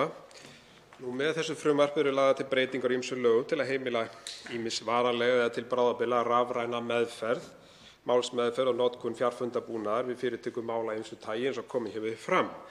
Eh, einnig hefur komið fram nú bara í tilkynningu mjög hörð gagnrýni á þetta frumvarp frá hagsmunasamtökum heimilanna. Eh, samtökin eh, gagnrýna harðlega 10. gr frumvarpsins um aðfarargerðir og 12. gr. þess um nauðungarsölur. Báðar eru þær orðaðar þannig heimilt verði að taka mál fyrir með gerðarbeiðanda í gegnum síma eða fjarfundabúnað og það jafngildi því að gerðarbeiðandi sé sjálfur viðstaddur fyrir tökuna í skilningi laganna. Ekkert er minnst á gerðarþola í þessu sambandi eða hvernig tryggja skuli möguleika hans á aðkomu að fyrirtöku til að gæta réttar síns. Þetta er eh, mjög hörð gagnrýni sem kemur hérna fram frá mikilvægum samtökum og auk þess gagnrýna þau einnig, einnig sagt, eh, framkvæmd þessara fjarfunda fyrirhuguðu. Nú síðan enda þeir umsögnina eða sagt, þessa gagnrýni sína sem þeir hafa byrt sem eh, að þetta sé hreinlega fáránlegar tillögur á þessum tímapunkti og þjónkun við gerðarbeiðendur og gróf mismunun í garð gerðarþola. Herra forseti. Ég held að það sé nauðsynlegt að fá það hér frá hæstv. ráðherra og nú munu væntanlega þessi samtök senda inn umsögn til nefndarinnar þegar málið er komið þangað, að fá álit hæstv. ráðherra á þessari hörðu gagnrýni sem birtist núna strax í upphafi málsins. Svarar hæstv. ráðherra andsvari.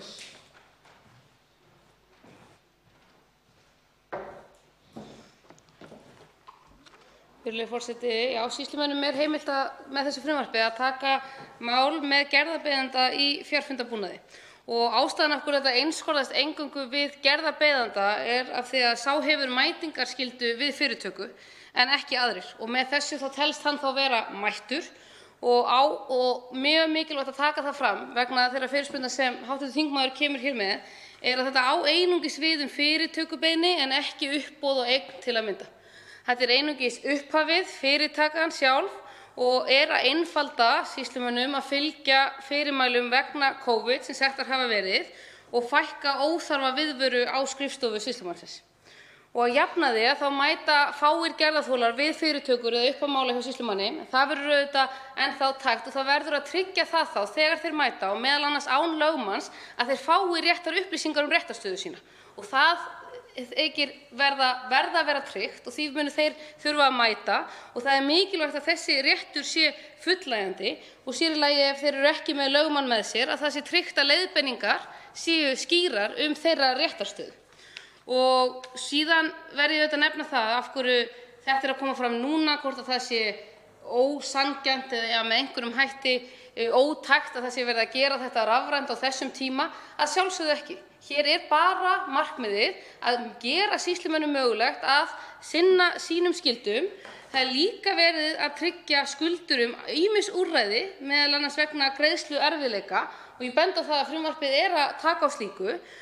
Þær skuldir sem nú er verið að fullnusta Þær eiga ekki rætur vegna kórónuveirufaraldursins. Þetta tekur oft marga mánuði og það er ekki hægt að segja og eiga sér mjög langan aðdraganda og það er ekki hægt að segja að það sem verið er að fara í núna og verið þá að gera rafrænt, gera möguleika á fjarfundabúnaði, sé með einhverjum hætti einhver ný mál sem komið hafa upp nú um stundir vegna kórónuveirufaraldursins. Þetta er andsvar öðru sinni. Hv. 3. þingmaður Suðurkjördæmis, Birgir Þórarinsson, hefur til þess eina mínútu. Herra forseti. Ég þakka hæstv. ráðherra. Það er nú bara þannig að með þessu frumvarpi þá er í raun og veru verið að greiða götu kröfuhafa til að framkvæma aðfarir og nauðungarsölur á auðveldari hátt en nokkru sinni fyrr á þessum fordæmalausu tímum.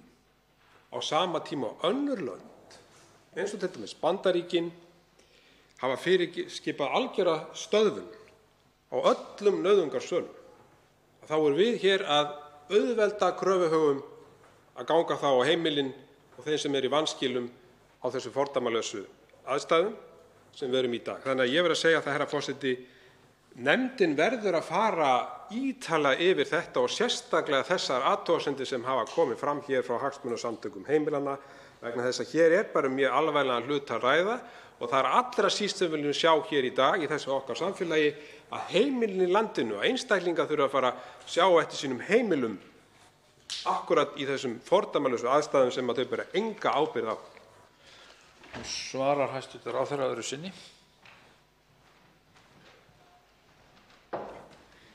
Virðulegur forseti. Það kom mikið nýtt fram í spurningu hv. þingmanns. Ég ítreka það bara að í frumvarpinu er líka skuldurum tryggð ýmis úrræði, m.a. vegna greiðsluerfiðleika. Þær skuldir sem kröfuhafar eru nú að fullnusta eru ekki og ekki hægt með nokkru móti að rekja til afleiðingar heimsfaraldursins. Framlagning bæði beiðna um aðför og nauðungarsölur á sér langan aðdraganda áður en beiðnir eru lagðar fram og er því nú nokkuð ljóst að þær kröfur sem nú koma til framkvæmda eru ekki raktar til þeirra afleiðinga sem nú eru uppi. En það er líka verið að tryggja uh, vegna þess efnahagslega áhrifa sem eru uppi eru skuldurum tryggð þessi ýmsu úrræði þannig að ég vísa bara til þess máls og auðvitað tek undir með hv. þingmanni að nefndin þarf að skoða málið eins og önnur sem til hennar koma.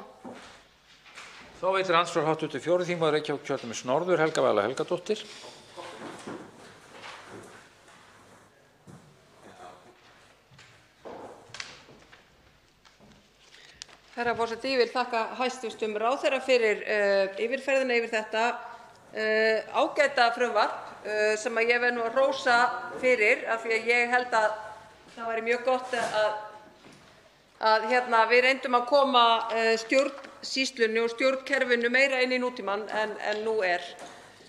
Nú var það svo að þann 14. desember 2018 urðu að lögum heimild til rafrænna þinglýsinga og reglugerð þess efnis var samþykkt og staðfest í apríl í fyrra en enn í dag er ekki hægt að fara og láta þinglýsa skjölum rafrænt hjá sýslumannsembættunum út um allt land. Það er næstum því eitt og hálft ár síðan þetta var að lögum og ár síðan þetta var samþykkt í reglugerð hvernig að fara að þessu en ekkert er að gerast hjá embættunum þannig að maður veltir fyrir sér hvort að embættin sem eiga að taka núna við þessu frumvarpi séu bara burðug til þess að vera að standa í einhverjum breytingum, jafnvel breytingum sem eru að auðvelda mjög þeirra störf. Samkvæmt svörum frá sýslumannsembættinu þá er einhvern veginn það mál bara fast í einhverjum vinnuhópi eða einhverjum stýrihópi og eitthvað. Það einhvern veginn virðist lítið þokast. Þá vil ég líka spyrja aðeins út í þetta frumvarp hvort það hafi ekki komið til greina að gera líka breytingar á hjúskaparlögum þannig að fólk geti hreinlega farið inn á Rafrænt Ísland og sótt um hjónaskilnað þar vegna þess að það hefur ákveðin réttaráhrif um leið og þú sækir um skilnað. Það verða ákveðin réttaráhrif bara við umsóknina og í dag þarftu að bíða mánuðum saman eftir fyrsta viðtali hjá fulltrúa og það getur ótrúlega margt gerst á þessum tíma, sérstaklega þegar um er að ræða mjög erfiðar aðstæður milli hjóna. Þá finnst manni hart að stjórnsýslan komi í veg fyrir eðlileg réttaráhrif þegar fullorðið fólk er að krefjast skilnaðar. Þá svarar andsvari hæstv. dómsmálaráðherra Áslaug Arna Sigurbjörnsdóttir.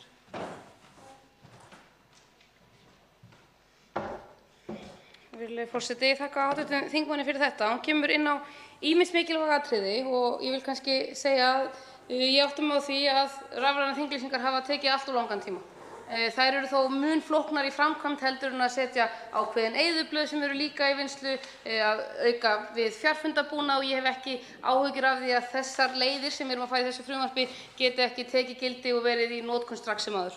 Það er mikil greiningarvinna og mikið að gerast í þinglýsingum núna og ég hef lagt allt kapp við það að það gangi enn þá hraðar og það er hérna og prófanir eru að hefjast við fyrsta áfanga núna þannig að ég held að það gerist núna hratt og ég mun vonandi sjá tímaramma fyrir þetta ár hvenær við sjáum þá fyrst aflýsingar verða rafrænar og síðan þinglýsingar. Það er auðvitað mjög mikilvæg þjónusta sem við ætlum að veita hjá sýslumönnum.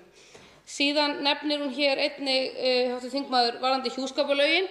Þetta er eitthvað sem ég hef verið að skoða. Það er búið að setja núna hátt í 59 eyðublöð inn á island.is sem varðar fjölskyldusviðið og það er okkar von um að það auðveldi, það flýti fyrir málsmeðferð og hjálpi til við skipulagið að minnka allt og langa biðlista sem eru í þeim málaflokki hjá sýslumanni. Og við erum að sjá fleira og fleira fara núna inn á island.is, bara búið að bætast við núna í hverri viku í raun einhver eyðublöð og ég bind miklar vonir við að þau muni hjálpa til við að flýta réttaráhrifum, minnka biðlista hjá sýslumanni og auðvitað auka skilvirkni kerfisins ég þarf bara að kanna varðandi þau, hérna, þetta hjúskapar eyðublað sérstaklega varðandi skilnað en ég er auðvitað líka að skoða lög og ákvæði um skilnað og hvernig hægt er að gera það annars auðveldara í framkvæmd sem kemur kannski ekki bara rafrænum sjónarmiðum við. Þá veitir andsvar síðar að sinni hv. 4. þingmaður Reykjavíkurkjördæmis norður, Helga Vala Helgadóttir, og hefur til þess eina mínútu. Herra forseti. Ég þakka hæstv. ráðherra kærlega fyrir þetta svar. Ég er enn þá svolítið föst í hjúskaparmálunum af því að ég held að við verðum að fara að hysja upp um okkur þar, þ.e. hjúskapar- og sifjamálunum, af því að biðlistar hjá sýslumannsembættinu á höfuðborgarsvæðinu t.d. eru þess eðlis að, mál er varðar umgengni, forsjá og lögheimili barna hafi ekki verið tekin fyrir ný mál síðan 8. júlí 2019. 8. júlí 2019. Engin ný mál hafa verið tekin fyrir. Og þá erum við að tala um að, að mál sem að kom þangað inn þar sem pantaður var tími af því þú verður að fá tíma hjá fulltrúa til þess að hefja málið. Það hefur, þeir sem að komu fyrir 8. júlí, þeir eru ekki ennþá búin að fá fyrsta viðtal. Þarna eru lítil börn sem oft og tíðum fá ekki umgengni við annarkvort foreldri sitt, það er ekki búið að taka ákvörðun um forsjá eða lögheimili og þess.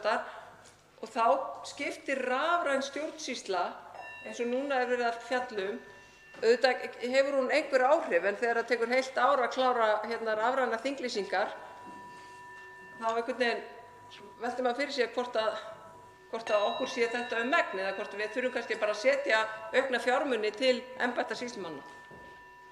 Hæstv. dómsmálaráðherra Áslaug Arna Sigurbjörnsdóttir svarar andsvari síðar að sinni.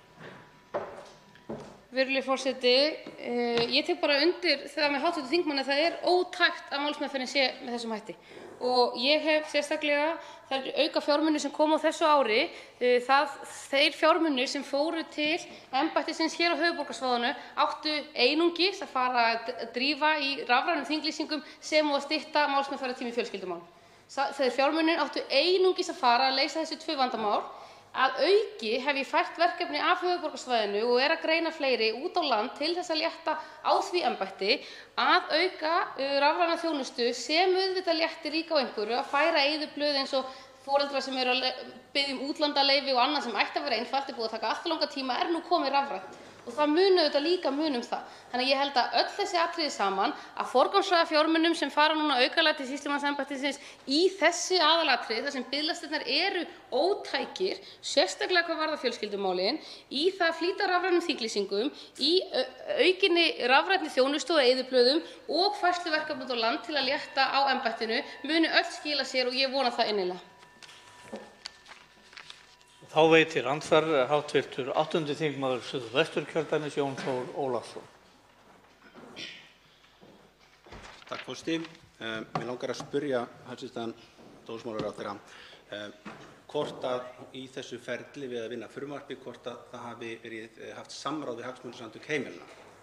Um, ástæðan er sú að hagsmunasamtök heimilanna hafa frá hruni verið að berjast fyrir því að það sé ekki gengið á rétt eignarrétt þeirra sem eiga fasteignina, eiga heimilin, sér í lagi þegar þetta er heimili fólks. Uh, og það er barátta sem þeir eru búin að heyja allan þennan tíma. Um, þannig að mér þetta er mjög einkennilegt, nei, ekkert endilega einkennilegt, en, en það er bara ekki góð vinna við frumvarp að hafa það ekki sambönd hagsmunasamtök heimilanna. Því að þau eru að benda málefnaleg atriði og eina aðilinn sem hefur sendt honum umsögn við þetta mál.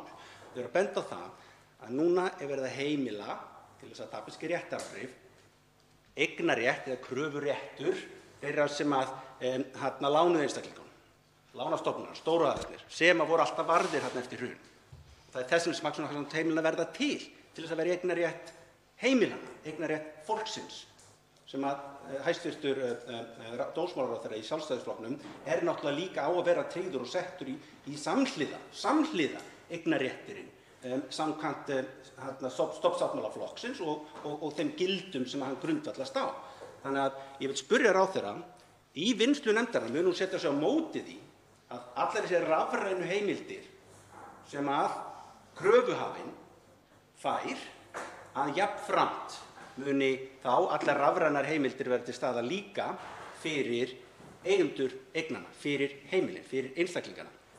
Um, út í að er verið að heimila að gera hluti rafrænt til þess að réttaráhrif tapast ekki, er þá tryggt líka að alls konar frestur og slíkt sem að uh, hérna, sá sem að krafan beinist gegn heimilunum, að þau hafa þá líka heimild, allar þeirra heimildir til þess að fá fresti og bið og koma á fundi og svo framvegis, það verði líka tryggt. Setur ráðherra sig gegn því að heimilin og kröfuhafarnir séu settir jafnfætis í þessum rafrænu lausnum í frumvarpinu. Hæstv. dómsmálaráðherra Áslaug Arna Sigurbjörnsdóttir svarar andsvari fyrir að sinni. Virðulegur forseti, ég svaraði nú svona sirka sömu spurningu hér áðan í fyrirspurn Um, og það er þannig að það eru auðvitað mikilvæg réttindi í húfi og við gerum okkur öll grein fyrir því og breytingarnar í þessi frumvarpi er ekki að auðvelda kröfuhöfum eitt né neitt. Það er bara að vera að auðvelda sýslumönnum að rækja verkefni sín samkvæmt lögum. Og ef nefndin mun auðvitað vinna þetta mál og leggja til einhverjar breytingar, gott og vel, en það sem ég fór yfir hérna áðan var að það er verið að reyna að tryggja gerðarbeiðanda þau réttindi að ef vilji til að mæta að réttur þeirra til fullnægjandi leiðbeiningar frá sýslumanni um sína réttarstöðu sé tryggður. Og það sé auðveldara að gera það þegar manneskjan mætir heldur en í gegnum fjarfundabúnað. En það má auðvitað skoða þetta. Það er alveg sjálfsagt að þetta sé skoðað, en það er bara mikilvægt að halda því til haga. Það er ekki verið að auðvelda nein réttindi kröfuhafa, heldur þvert á móti verið að koma uh, á móts við ýmsa, ýmis atriði og ýmis úrræði vegna greiðsluerfiðleika hjá skuldurum til að mynda og það er aðeins verið að leggja til að það sé hér möguleikar á fjarfundaformi til að sýslumenn geti rækt sín verkefni samkvæmt lögum en ekki verið að auðvelda kröfuhöfum. En málið, frumvarpið var auðvitað unnið í miklum flýti, það hefur þarft að breyta ýmsum lögum og alltaf að koma upp ný atriði sem við sjáum að þurfa að bregðast við vegna þeirra samkomutakmarkana og fjarlæga takmarkana, þannig að það var haft lítið samráð með þetta mál. Háttvirtur áttundi þingmaður Suðvesturkjördæmis veitir nú andsvar síðara sinni. Það er háttvirtur þingmaður Jón Þór Ólafsson og hefur til þess eina mínút. Takk fórsti. Um, ákvæmlega unnið í lítið samráð. Sko, þetta, það eru samt sem áður ímis atriði þar sem að væri hægt að auðvelda líka. Ég, ég nefndi þetta minni fyrir ræðu að það er verið að eins og þetta er lagt upp hérna, það var að segja það, bara þau réttarheimildir sem eru til staðar, að það týnast ekki, að fólk tapi ekki réttindum sínum ef þú ert kröfuhafi. Það er ekkert í þessu frumvarpi um það að þú tapir ekki heimildunum til þess að lengja fresti og svo framvegs ef að þú ert sá sem að krafast nýr gegn heimili. Það er það sem ég hef ágjur af. Þetta er ég búinn að sjá hérna á þingi um, frá 2013. Það voru heimildir sem dómsmálaráðherra hafði þá að fara í málsókn fyrir hönd uh, heimilana það var heimild, ég rætti þetta ítrekað við Hönnu Birnu Kristjánsdóttur, þá hæstv. innanríkisráðherra sem fór með dómsmál. Það var ekki notað, það var alltaf varið hagsmuni, eignarrétt kröfuhafanna, bankana og heimilin máttu bíða. Það er þess vegna sem sporin hræða. Þannig ég ætla aftur að spyrja hæstv. dómsmálaráðherra hvort að henni finnist ekki rétt að þessar rafrænu lausnir nýtist fyllilega, fyllilega líka fyrir heimilin ef það á að samþykkja, samþykkja þessar rafrænu lausnir, að heimilin geti ekki að koma að þessu. Að, ek, já, að, að það basically eignarrétturinn sé, sé virtur jafnvægt saman hvort úr fjármálastofnun eða heimili. Hæstvirtur dómsmálaráðherra svarar andsvari síðara sinni. Já, verulega forseti. Það má ítreka það að tíundu greinin, þar sem heimilt er að byggja og bjóða upp á rafræna meðferð mála fram til 1. oktober 2020 á auðvitað líka við um gerðarþola. Þeir geta sendt inn gögnin sín rafrænt, þau geta hérna, uh, að taka þátt í rafrænni málsmeðferð málsins geta þau þó að það sé kveðið á um það að sá sem verður að vera mættur, sem er gerða beiðandinn, þurfa að vera mættur samkvæmt uh, fjarskiptabúnaði eða slík, sko, en ekki aðili eins og ég margbúin að útskýra af hverju er niðurstaðan. En nefndin mun auðvitað skoða það og ég í rauninni hef ekki miklu við það að bæta en að breytingarna varða bara verklafi fyrirtöku. Það er ekki verið að tryggja kröfuhafa nein aukin réttindi gegn gerðarþola og það er verið að leggja til ýmsar breytingar sem tryggja réttindi uh, skuldara sem er í greiðsluerfiðleikum og þetta er við verðum að taka hérna ýmsar breytingar og það, sumar af þessum verða kannski bráðabirgða núna en munu reynast vel eða þarf að taka breytingum og við viljum taka breytingar til framtíðar sem eru með þessum hætti. Hérna er verið að leggja til rafræna málsmeðferð vegna COVID og þeirra takmarkana sem uppi eru og hún á að gagnast öllum óháð aðilum. Athygli forseta var vakin á því að fjórði þingmaðurinn hefði óskaði til því að veita ansvar en það er háttvirtur áttundi þingmaður Suðurkjördæmis Karl Gauti Hjaltason og ekki efast um það. Herra forseti, já, ég bað nú um ansvar og hef eitthvað fallið milli skils og bryggju. Um, ég hjó eftir því hjá hæstvirtum uh, dómsmálaráðherra að uh, þetta frumvarp hefði verið unnið í miklu flýti. Ég hjó eftir því. Ég sé líka í greinagerð að uh, það vannst ekki mikið tími til að hafa samráð. Það eru nefndir nokkur aðilar. Það er ekki dæmis nefnd þar lögreglan eða, ríkisaksónurinn eða neitt í þeim geira, heldur einungis dómstólarnir og svo einhverjir aðrir aðilar. Ég er ekki að gera athugasemdir við allar greinar þessa frumvarps eða, eða hef spurningar um það alla. Ég er aðalega, ég, þarna er ég aðalega í, með í huga 50 og 70 grein og síðan 10 og 12 grein. Það er kannski ólangt mál að fara í þetta allt saman í einu ansvari en eh, ég ætla bara að byrja á 10 og 12 grein sem aðrir hafa reynda að koma að. Ég hjó eftir því að hæstv. dómsmálaráðherra nefndi það hér áðan að þetta væri einungis hugsað í fyrstu fyrirtöku. Það er auðvitað ekki rétt. Í textanum kemur fram að þetta, að það er einungis talað þar um fyrirtöku og í lögunum, nauðungarsölulögunum, öllum, er alltaf talað um fyrirtöku. Alveg saman hvort sé fyrsta fyrirtöka eða önnur framvegis. Það er alltaf talað um fyrirtöku, samkvæmt ákveðnum greinum. Það verður þá að laga textan í frumvarpinu ef meiningin er svo að þetta er einungis við um fyrstu fyrirtöku samkvæmt 21. grein nauðungarsölulaga. Þá verður að taka það fram, þá verður að laga þetta. Og þetta veldur mér auðvitað áhyggjum ef vinnubröðin eru slík og um, mín aðalspurning til ráðherra er þetta. Ég var nú lengi í þessum geira, áratugi, og ég man aldrei eftir neinum, mannfjölda í þessum fyrirtökum. Ég man ekki eftir neinum stórum mannfjölda í þessum fyrirtökum. Hvað knýr ríkisstjórnina á um það að fara fram með þessi ákvæði, þar á við 10. og 12. grein, núna á þessum tímum, hvað knýr ríkisstjórnina á um að koma með þetta núna á þessum tímum, veiru tímum? Hvað knýr svo mikið á um að gera þetta svona, handabaka vinnu hér, eins og ég hef bent á og get bent á fleira, hvað knýr ríkisstjórnina á um að koma með þetta frumvarp núna, 10. og 12. grein á þessum tímum? Hæstv. dómsmálaráðherra svara nú andsvari fyrir að sinni.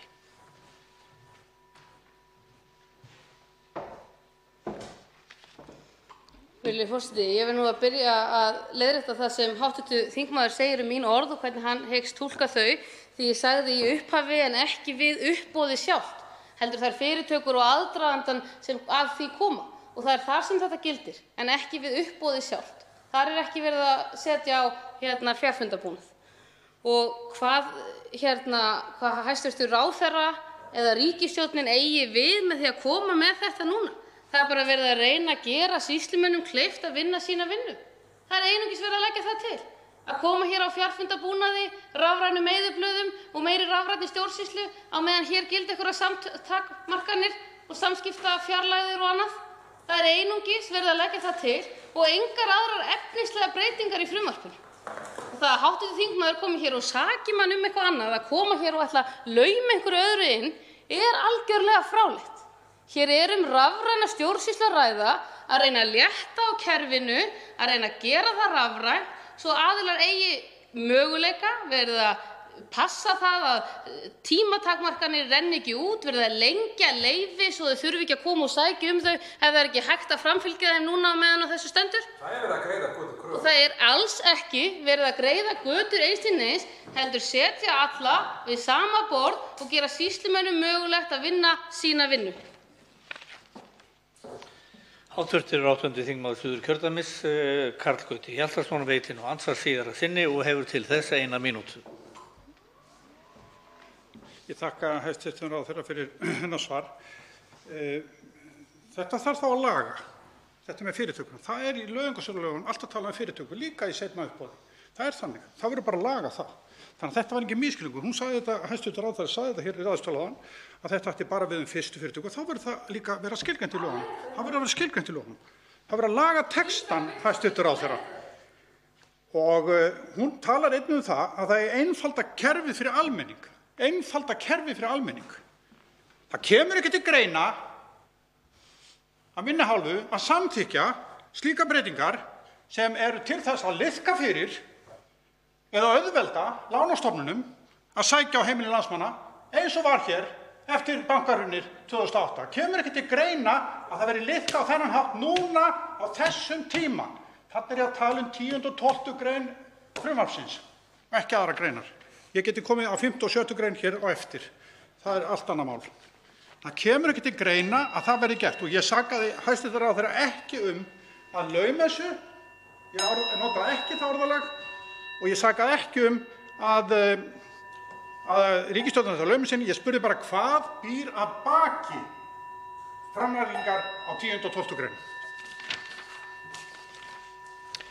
Og hæstvirtur dómsmálaráðherra Áslaug Arna Sigurbjörnsdóttir svarar nú andsvari síðar að sinni. Hæstv. forseti. Það sem býr að baki er að gera það kleift að fylgja þeim fyrirmælum sem upp hafa komið vegna þess faraldurs sem geisar hér. Þau samkomubönn og þær fjarlægðartakmarkanir sem uppi eru krefjast þess að við bregðumst við, að við drífum í rafrænni stjórnsýslu og við gerum það kleift að við getum fækkað komum til sýslumanns svo að þar sé ekki kraðaka fólki sem er að sækja sér alls konar þjónustu sem væri hægt að gera rafrænt. Það er einungis það sem mér liggur á hjarta og þetta frumvarp snýst um. Það er ekki verið að liðka fyrir einum eða öðrum fram yfir aðra. Það er einungis verið að bæta hér við uh, rafrænni þjónustu í öllum þeim málsmeðferðum sem mögulegt er og þeim fjölda laga og stofnana sem undir mig heyra og það er það sem þetta frumvarp snýst um. Andsvörum er lokið til máls tekur háttvirtur 8. þingmaður Suðvesturkjördæmis Jón Þór Ólafsson.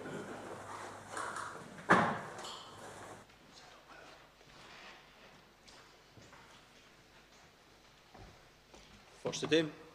Um, eitt gott kom út úr andsvörum við um, hæstv. dómsmálaráðherra áðan að þetta frumvarp eigi að tryggja, þó það virðist ekki vera í frumvarpstextunum eins og kemur fram í erindi að umsögn Hagsmunasamtaka heimilanna við frumvarpið, en það var meining ráðherra að allir sætu við sama borð. Þannig að það væri ekki bara verið að, að skapa kringumstæður, rafrænar lausnir fyrir um, kröfuhafana, fjármálafyrirtækin, það væri líka verið að gera það jafnfætis. Þeir sætu við sama borð, heimilin, eh, þegar það væri eh, varðandi svona fyrirtökur. Það verður að passa það í allsherjar- og menntamálanefnd að það raunverulega skili sér inn í frumvarpið og þar uh, eru hagsmunasamtök heimilanna uh, með sérfróða aðila hvað það varðar og geta þá komið fyrir allsherjar- og menntamálanefnd, kallið því að nefndi kallið þá fyrir til þess að koma með breytingatillögur. Svo aðrar breytingatillögur sem skipta máli. Mér langar bara í rauninni að fara að lesa þessa þannig að fólk sem að, sem að hlustar heima eh, hafi þetta bara hreinu um hvað erindi hagsmunasamtaka heimilanna snýst sem að eins og ráðherra sagði var ekki talað við í þessu ferli. Það hafi verið hratt gert þannig að eh, ekki var leitað umsagna hjá þeim eða jafnvel flestum, flestum öðrum var ekki leitað umsagna hjá. Það ferli var gert svo hratt. Þannig að umsagnir sem hagsmunasamtök heimilanna sendu inn í dag eh, segir að með frumvarpi þessu eru lagðar til breytingar með leyfi forseta á ýmsum lögum til að heimila ýmist varanlega eða til bráðabirgða rafræna málsmeðferð og notkun fjarfundabúnaðar við fyrirtökur mála af ýmsu tagi.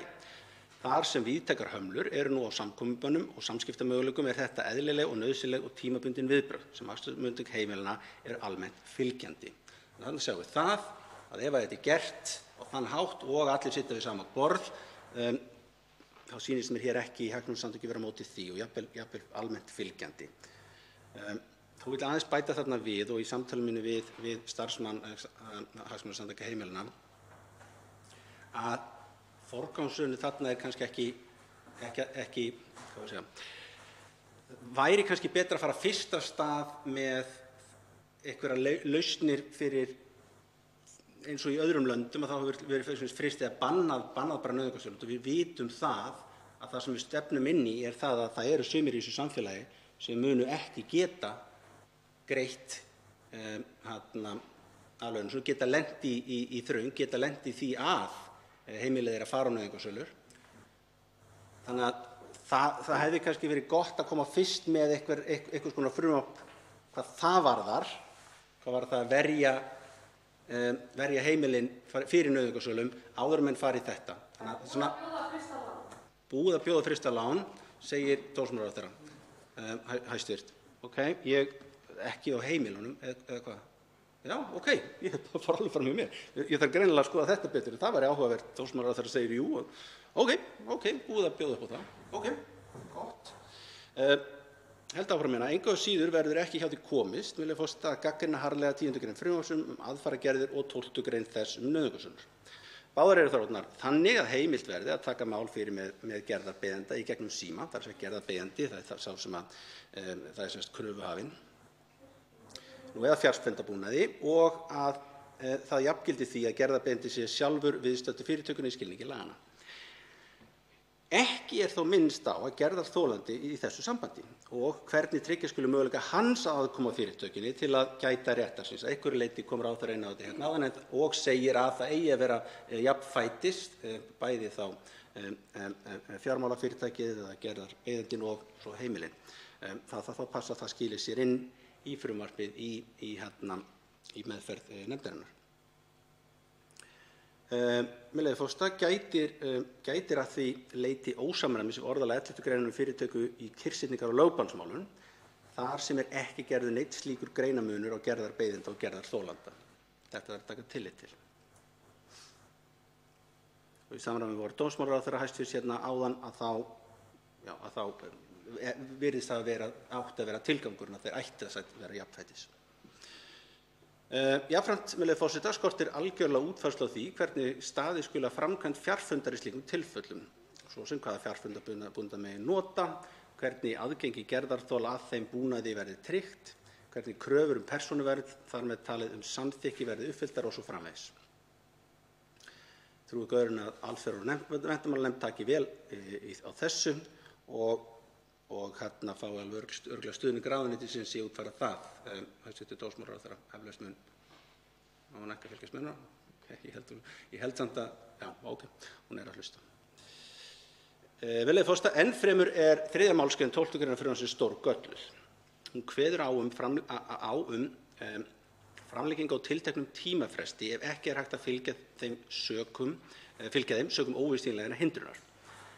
En þeir frestir eru allir í þágu gerðarbeiðanda. Það er þetta sem ég var að reyna að koma inn á áðan. Þannig að ef hæstv. dómsmálaráðherra hefur svarað því að það ætti að vera, allir ættu að vera jafnfætis hvað þetta varðar, en svona er þetta þarna inni, þannig að ég ætla bara að taka dómsmálaráðherra á orðinu að hugmyndin var að allir ættu að vera jafnfætis, þannig að nefndin, ef hún lagar það, þá er það bara eitthvað sem ætti að renna ljúft í gegnum þingið.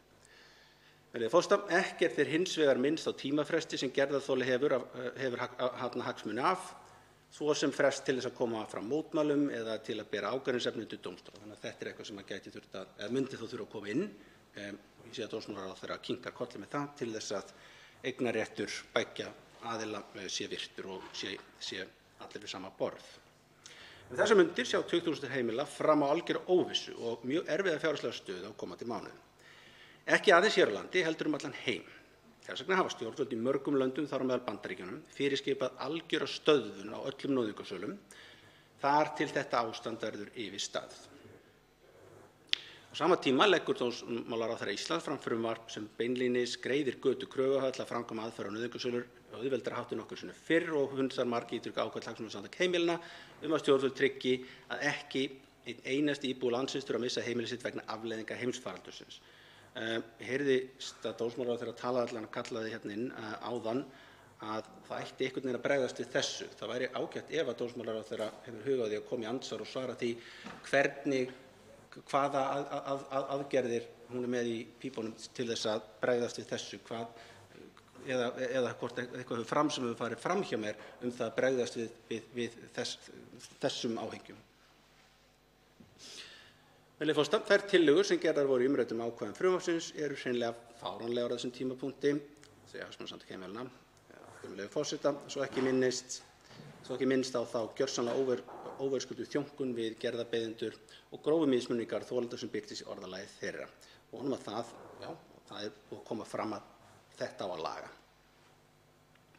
Hagsmunasamtök heimilanna ítreka þá sjálfsögðu kröfu sína að nauðungarsölu og aðfarargerðir þar sem gerðarþoli er neytandi verði stöðvaðar til næstu áramóta eða a.m.k. svo lengi sem í gildi er einhvers konar fyrirmæli um samkomutakmarkanir samkvæmt sóttvarnalögum. Það er áhugavert að heyra hvernig hæstv. dómsmálaráðherra tekur í þessa tillögu.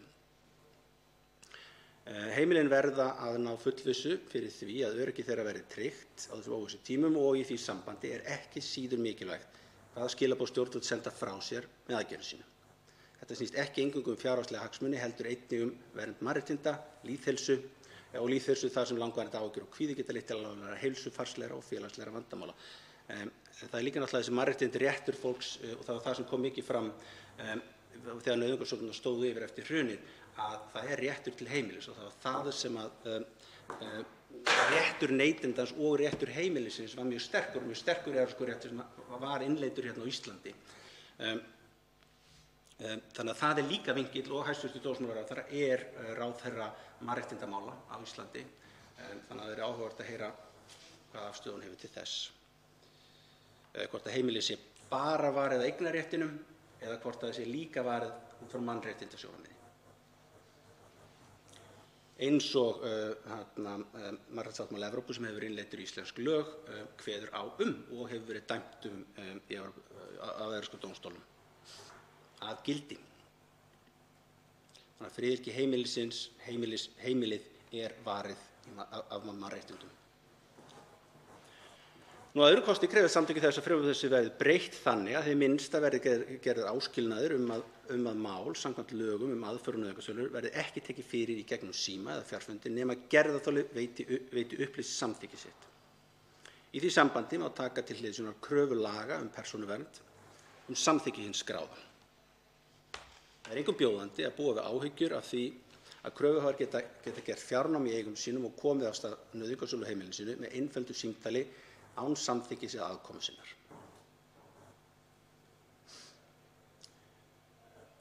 Já, mér heyrist að aðkoman náttúrulega að verði tryggð. Um, Samkvæmt því að dómsmálaráðherra segir að allir eigi að halda sínum fullum réttum og hafa fullan rétt á sömu aðkomu um, að málunum um, þá með þessum rafrænu lausnum. Ennfremur krefja samtökin þess að þriðja málsgrein 12. greinar verði, breytt þannig að hún framlengi tímafrest sem þar er gert ráð fyrir. Geti einnig átt við um tímafresti vegna atvika sem geta varðað gerðar þóla eða sambarilegar ákvæði, ákvæði bætist við tíundu greinina. Þetta, þetta er eitthvað sem að já, ráðherra hefur kynkað kolli við. Þar á, á meðal, með leið fósita, má nefna fresti til að andmæla frumva, frumvarpi til útlutunar söluvers samkvæmt eh, fyrstu málsgrein 51. grein laga um nauðungarsölur og fresti til að leita úrlausna dómstóla um ágreiningsefni samkvæmt 5. grein laga um aðför eða eftir atvikum 8. Nei, 13. til 14. kafla laga um nauðungarsölu auka næra tímafresta sem settur er í viðkomandi lögum. Og leiðu fórseta, rökin fyrir ofangreindu eru öll þau sömu og í greinargerð frumvarpinu nema auk þess að teknu tilliti til stjórnarskrárbundinnar jafnræðisreglu og réttláta málsmeðferðar. Þannig að það sem eh, fram kemur, afsakið, þannig að það sem þar kemur fram um að gætt hafi verið að samræmi við stjórnarskrá og ekki verði séð að frumvarpi geti haft neikvæða íþengið áhrif fyrir almenning samræmist raunverulegu efni frumvarpsins. Um, þannig að væri gott ef hæstv. ráðherra er tilbúin að koma í stutt ansvar til að svara því hvernig um, hún eða ríkisstjórnin hefur í hyggju eða hefur nú þegar um, um, tryggt að setja stoppa nauðungarsölu eða stoppa að fólk missi heimilis, nei, ég, ég, ég man ekki nákvæmlega hvernig ég orða það, en er eitthvað þá í pípunum um, hjá ríkisstjórninni varðandi það að, að, að fólk sé ekki að missa heimilin sín. Um, það voru fristar nauðungarsálar vegna efnaðisfrumsins og var gert ítrekkað. Hanna Birna Kristjánsdóttir, hæstv. ráðherra innanríkismála þá, dómsmálaráðherra, sem sinnti þessum málaflokk þá, lagði fram frumvarp um það að fresta nauðungarsálunum. Nú er verið að leggja til, um, nú eru hérna ferðarþjónustu að leggja til að ferðarþjónustufyrirtæki geta lagst í dvala, þau eru ekki að borga neitt. Um, búið að tryggja alls konar brúalán og svoleiðis til fyrirtækja. Það að það að einstaklingar og fjölskyldur missa ekki heimilin sín um, sökum aðfarar gegn þeim, hefur ráðherra eitthvað í hyggju að leggja fram tillögur um það að takmarka uh, tímabundið uh, nauðsölu. Ef að sanna sé að það er tilkomið, það ástand er tilkomið vegna faraldursins. Þá veitir ansvar hæstvirtur dómsmálaráðherra Áslaugu Arna Sigurbjörnsdóttir. Virðulegur forseti, það sem hv. þingmaður leggur þegar vana sinn að útskýra hér hvað fer fram í hliðarsal, þá er betra að maður komi hér sjálfur og segi það. Um, það sem ég sagði og er, var að segja er að bankarnir eru að frista lán hjá fólki sem er í greiðsluerfiðleikum. Og það, við sjáum það bara á tölunum af þeim fjölda sem er að nýta sér það úrræði. Þeir sem eru komnir á atvinnuleysbætur og meðal annars sjá fram á erfiðleika, þeir eru að nýta sér það úrræði. Og við sjáum það auðvitað líka í þinglýsingum og skilmálabreitingum hjá sýslumanni, meira, miklu meira álag sem er að koma þar inn. Það er auðvitað eh, hérna, eitt af því sem er að koma inn núna sem þarf að afgreiða hratt og vel og er ein, ein ástæðan fyrir mikilvægi þessa frumvarps að liðka fyrir rafrænni stjórnsýslu til að minka hlutfallið af þeim sem eru hjá sýslumönnum og mæta þar til þess að reyna að minka það álag. Og það sem ég hef gert líka er að reyna að auka þjónustuna þar. Það er búið að opna aftur í hádeginu, það er lengri tími í símatíma hjá fjölskyldusviði og svo framvegis. Um, þannig að það er auðvitað mikið sem er verið að bregðast við. En það sem uh, hv. þingmaður er kannski að gefa sér er að þær skuldir sem nú er verið að fullnustu eigi rætur sínar í Covid. Það er hérna uh, engan veginn þannig og það er verið að tryggja ýmis úrræði, auðvitað verið að lengja fresti og þetta er eitthvað sem nefndin mun skoða. En það er mjög mikilvægt að þetta ástand það hérna, stoppi ekki það sem hérna, stoppi ekki þau réttindi sem fólk hefur, að það sé ekkert sem komi upp á og það sé stjórnsýslan eða uh, hérna, sýslumenn eða dómstólar sem get ekki gert eitthvað og það mingi réttindi fólks, það má ekki vera þannig. Þannig að það er verið líka að reyna að mæta því í þessu frumvarpi með lengingu fresta og með nýjum tímatakmörkunum og öðru og auðvitað þessari rafrænu þjónustu sem mér finnst áhugavert að hérna, sumir þingmenn, ekki hv. þingmaður sem hér hélt ræðu, virðast ekki vera fylgjandi. Og svarar ansvari hv. 8. þingmaður Suðvesturkjördæmis, Jón Þór Ólafsson. Forseti, eh, er náttúrulega þe- þau, þau mál sem eru komið það langt í dag og þau eru að lenda í nauðungarsvöndstaðan er, er, já, að öllu líkindum ein- engin þeirra COVID-mál nú, núna. En þau verða það eflaust. Það er eflaust margir sem vegna COVID eh, þetta mun kosta samfélagi líklega einhverja eða ríkis, ríkisöndunum hvað einhverja, er þetta komið upp í 300 miljardar sem við höldum þetta kosti. Um, fólk er að missa vinnuna og þeir sem er að fara á hlutabótavinnu er að eh, ná upp í 90% af launum, sem er strax komið með 10% þarna, sumir sem að missa vinnuna sína alveg, þetta miklu minna. Íslendingar eru náttúrulega sérstaklega framsýnir þegar það kemur að passa upp á það eins og, og sumar aðra Evrópuþjóðir, íhaldsamar Evrópuþjóðir, um, um, upp á það að, að vera með greiðslu getu í sex mánuði eða eitthvað svoleiðis. Þannig að, þannig að það er mjög líklegt margir lenda í greiðsluvanda sem að mun þýða á endanum þeir gætu misst heimili sín. Þannig að þetta úrræði sem hæstv. dómsmálaráðherra er að nefna varðandi, eh, varðandi frystingun á lánunum um, er einhver göt þarna, hve lengi á þetta, þetta að vara. E, e, það sem ég raunir bara var svona svolítið að falast eftir hvort hæstv. dómsmálaráðherra um, hefur í hyggju að gefa út eitthvað yfirlýsingar eins og sömu ríki hafa gert og kannski vera varkár með það að segja að, að þau mál sem að þar sem að heimilin um, gætu, þar sem að einstaklingar og fjölskyldur gætu mist heimilin sín, þar sem að má sannanlega rekja það til þessa faraldurs sem við erum í, að, að, eik, að það verði einhvers konar leið varðandi um, að það missi ekki, ekki heimilin sín sem konar auðvitaðsölum, einhverju tíma frestir með það, gefur fólki meira svigrum eins og þau óskætti með ferðarþjónustu sem allt annað, lengra svigrum fyrir fólk að koma til þessu fótunum til þess að geta fara að greiða og svo framvegis. Er þetta eitthvað sem að, sem að um, dómsmálaráðherra allavega geti skoðað og skoðað þá fordæmin uh, frá hruninu?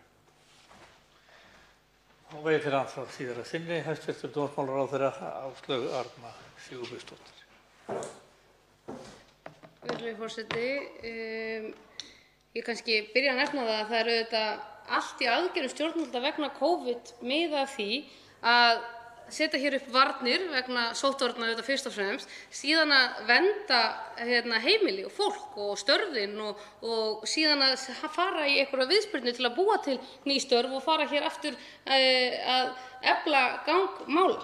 Og það, þarna undir kemur auðvitað ýmislegt til skoðun og það verða hér meiri efnahagsaðgerðir og ýmsar aðrar aðgerðir kynntar á morgun hjá ríkisstjórninni.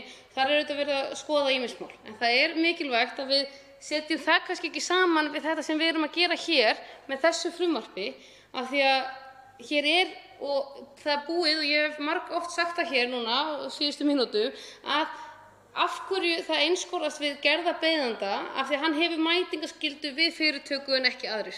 Og það er þess vegna sem þessi grein er með þeim hætti og þeir ættu að skilja sem hafa verið í þessu Þetta á einungis við um fyrirtökubeiðna en ekki uppboð á eign og er, ég greinilega get ekki sagt það nógu oft, einungis til þess að einfalda sýsla að fylgja fyrirmælum vegna Covid og þeim ströngu takmörkunum sem uppi eru og verða áfram um einhvern tíma þó að við séum að sjá afleiðingar á þeim takmörkunum fljótlega. Og þá að svara andsvari í síðara sinni hv. 8. þingmaður Suðvesturkjördæmis, Jón Þór Ólafsson. Já, eh, bara, bara einn loki, sko, já, það, sko, gerðarbeiðandi hefur skyldu til að mæta í þessa fyrirtöku. Um, ég skil það alveg örgulega rétt að, að, að gerðarþóli hefur náttúrulega réttindi til að mæta og það verður þá tryggt að hann geti nýtt þau réttindi sín. Já, ok, flott. Takk bara, fyrir svör. Þá er andsvörum lokið. Til máls tekur hv. 3. þingmaður Suðurkjördæmis, Birgir Þórarinsson.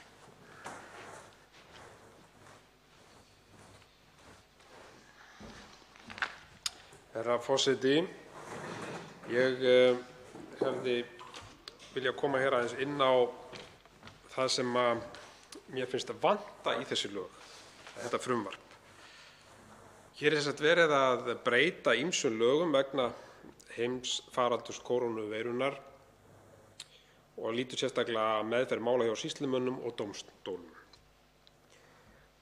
Í því sambandi finnst mér vanta að taka á úrræðinu hvað varðar greiðslustöðvun, hér hefði átt að nota tækifærið og breyta lögunum um gjaldþrotaskipti á þann veg að allur vafi væri tekinn af um það að hægt væri að leita greiðslustöðvunar vegna heimsfaraldursins. Ef ég vík aðeins að greiðslustöðvun sem slíkri þá er hér um lögbundið úrræði að ræða sem nýst getur skuldara sem á í tímabundnum greiðsluerfiðleikum. Um er að ræða úrræði sem skuldari sem á í verulegum fjárhagserfiðleikum á kost á að nýta sér til þess að freista þess að koma á nýrri skipan á sín fjármál. Greiðslustöðvun hefur þau áhrif að skuldari nýtur tiltekinnar verndar gagnvart lánardrottnum sínum á meðan greiðslustöðvun varir. Þannig verður bú skuldara ekki tekið til gjaldþrota að kröfu kröfuhafa meðan á greiðslustöðvun stendur. Eignir hans verða ekki kyrrsettar og ekki verður gert fjárnám hjá skuldara. Á undanförnum árum hefur lítið reynt á greiðslustöðvun sem úrræði til að leysa skuldavanda fyrirtækja. Greiðslustöðvun felur í sér tímabundna vernd skuldara gegn vanefndaúrræðum kröfuhafa. Þetta er úrræði sem er frekar lítið notað eins og fram hefur komið en skilvirkt og getur skilað góðum árangri. Nú er það þannig, herra forseti, að mörg fyrirtæki sjá fram á lausafjárskort, einkum fyrirtæki í ferðaþjónustunni, og það mun síðan leiða af sér greiðsluvanda og vanskil. Greiðslustöðvun og tímabundin vernd frá kröfuhöfum getur nýst þessum fyrirtækjum mjög vel. Fyrirtæki sem eingöngu stendur frammi fyrir tímabundnum greiðsluvanda vegna óvenjulegra og ófyrirséðra aðstæðna eins og veirufaraldursins á að eiga þess kost að geta leitað allra leiða til þess að koma í veg fyrir gjaldþrotaskipti. Greiðslustöðvun er því í slíkum tilvikum þýðingarmikið úrræði. Í lögunum um gjaldþrotaskipti og fleira, nr. 21/1991, er mælt fyrir um að skuldarar, bæði einstaklingar og fyrirtæki, sem eigi í verulegum fjárhagsörðugleikum og vilji freista þess að koma nýrri skipan á fjármál sín, geti leitað heimilda til greiðslustöðvunar. Í greinargerð með beiðni um greiðslustöðvun skal m.a. koma fram ítarleg greinargerð skuldarans um hvað valdi verulegum fjárhagsörðugleikum hans, í hverju þeir felist, hvernig hann hyggst leysa úr þeim með heimild til greiðslustöðvunar og hvernig hann hafi ráðið sér til aðstoðar. Herra forseti. Það er því alls ekki einfalt að óska eftir greiðslustöðvun og það þarf að uppfylla þröng skilyrði. Þá er ég kominn að því sem ég tel mjög æskilegt við þessar fordæmalausu aðstæður og erfiðu aðstæður sem við glímum við núna, að þetta verði einfaldað í lögunum og það verði tekinn allur vafi á um það að þessar aðstæður sem við erum í núna falli undir þessi skilyrði greiðslustöðvunar. Í 2. málsgrein 12. gr. laganna eru talin upp þau atriði sem gera það að verkum að héraðsdómara er skylt að synja um heimild til greiðslustöðvunar. Þannig ber að synja um greiðslustöðvun ef ráðagerðir skuldarans um ráðstafanir meðan á greiðslustöðvun stendur verði ekki taldar heimilar eða samrýmist tilgangi hennar og ekki taldar raunhæfar eða líklegar til að koma nýrri skipan á fjármál hans. Með öðrum orðum þá er úrræðinu um greiðslustöðvun ætlað að leysa ástand þar sem skuldari ræðst í tilteknar aðgerðir til þess að leysa úr fjárhagsörðugleikunum.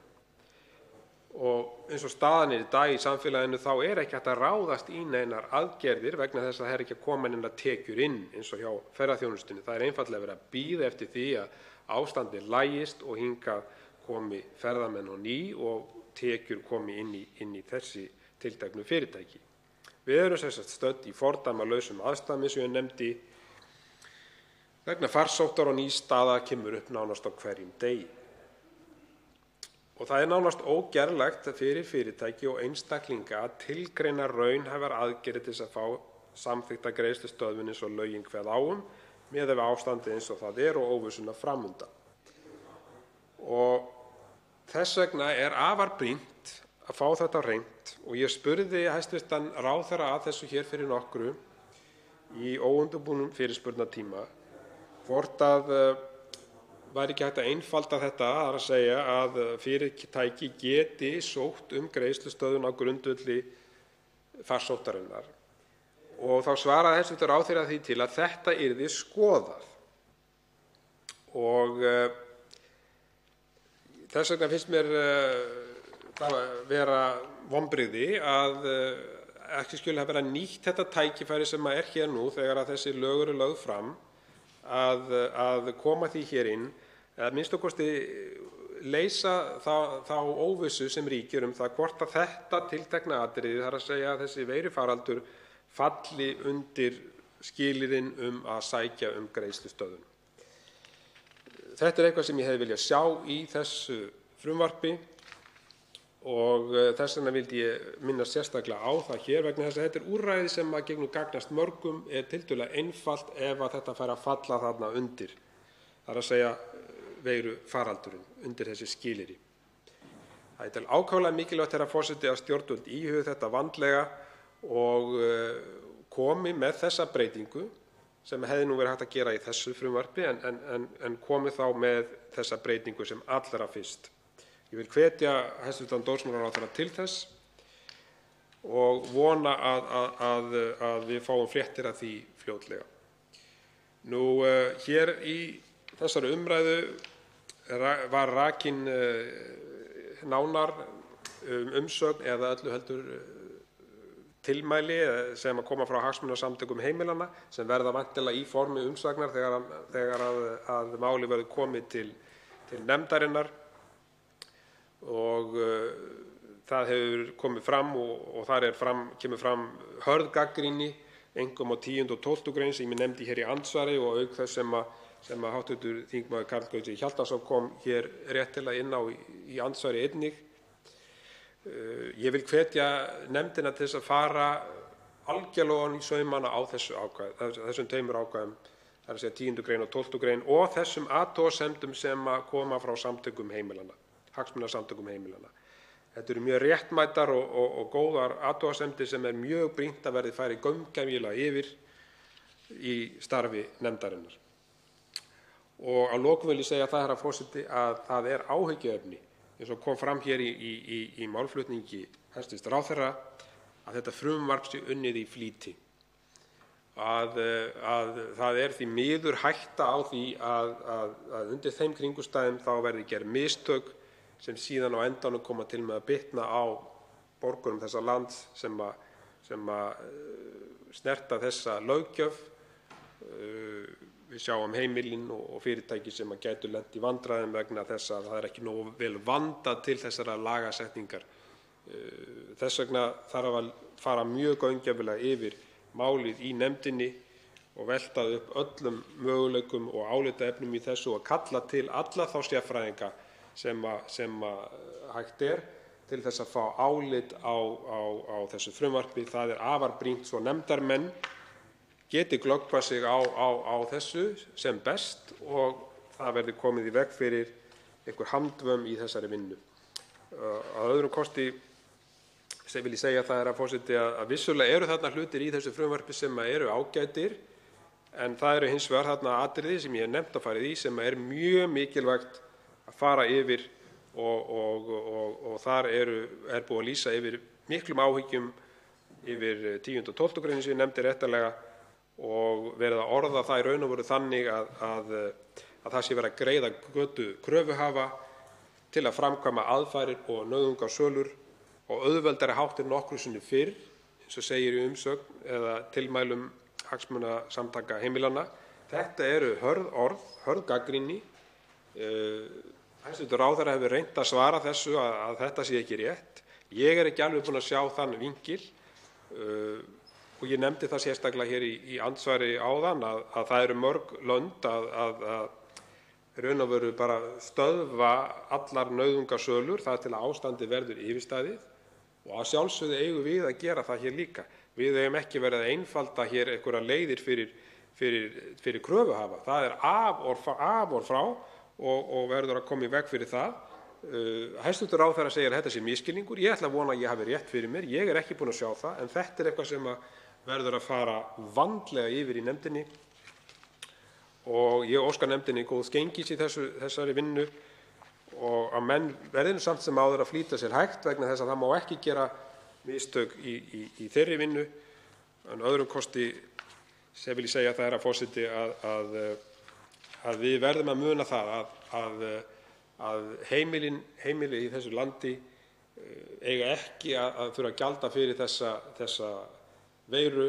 þennan veirufaraldur sem hefur dunið yfir okkur svo skyndilega og það má ekki koma til þess að nokkur einasta fjölskylda missi sitt heimili vegna þessa veirufaraldurs.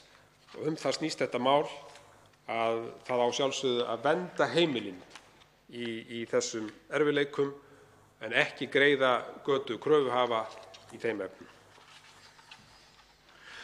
Hv. 8. þm. Suðvesturkjördæmis Jón Þór Ólafsson hefur óskað eftir að taka til máls um fundarstjórn forseta. Takk, forseti. Mig langar að upplýsa þá forseta og þingið um það að hæstv.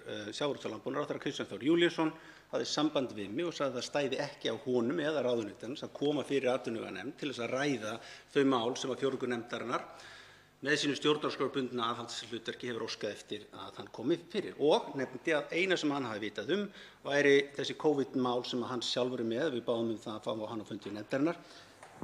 Hann hafi ekki vitað því að ráðuneytið að fjórðungur nefndarinnar hafi óskað eftir því að hann myndi ræða kvótaþakið sem er fyrir tveimur mánuðum síðan sem við óskuðum eftir því, né það hvernig fiskeldisfrumvarpið hafi brotið EES-sáttmálann, fjögur ákvæði þar. Það er nú nýlegt en hitt er tveggja mánaða gamalt. Ég ætla að rannsaka þetta frekar. Ég er búinn að reyna að hafa samband við forstöðumann nefndarsviðs. Þetta verður að vera í lagi. Það verður að vera í lagi að nefndir geta sinnt eftirlitshlutverkinu sínu og ég mun rekja þetta upp upplýsa landsmönnum þetta og þetta er eitthvað sem gerist ítrekað á þingi að hlutirnir gleymast og detta niður og svo afsaka menn sig. En ég ætla bara að taka ráðherra á orðinu. Hann mætir þá fyrir nefndina nema það sé ríkisstjórnardagur þannig að við getum klárað þetta. En ég mun rekja það upp og reyna að finna út úr því hvar þetta féll niður. Þá tökum við til máls hv. 7. þm. Suðvesturkjördæmis Gunnar Bragi Sveinsson. Hæstv. forseti. Það rekur alltaf við þegar maður kemur í púltið og sér hérna miða hér, stendur að maður mikið snerta púlti. Hér erum að ræða mál sem er að mörgu leyti ágætt sem hæstv. ráðherra mælti hér fyrir í dag. Tek undir með þeim sem telja að mætti skýra betur svona muninn á kröfuhöfunum og öðrum. Ég hefði líka og langar að taka undir með þeim sem hafa sagt að það væri gaman að sjá frumvarp sem tæki á því að fresta nauðungarsölum Vissulega er það rétt að það sem á að bjóða upp á morgun er væntanlega eitthvað sem ekki hefur komið til vegna þessara veiruskammar sem eru að hrjá okkur, en það er hætta á því að það komi síðar og þá að vera undir það búin. Ég vil líka koma inn á eitt, að hér hefur verið rætt um frystingu lána. Ég er nú búinn að vera að fylgjast aðeins með þessu og ég fæ ekki séð það sem verið að frysta hvert einasta lán.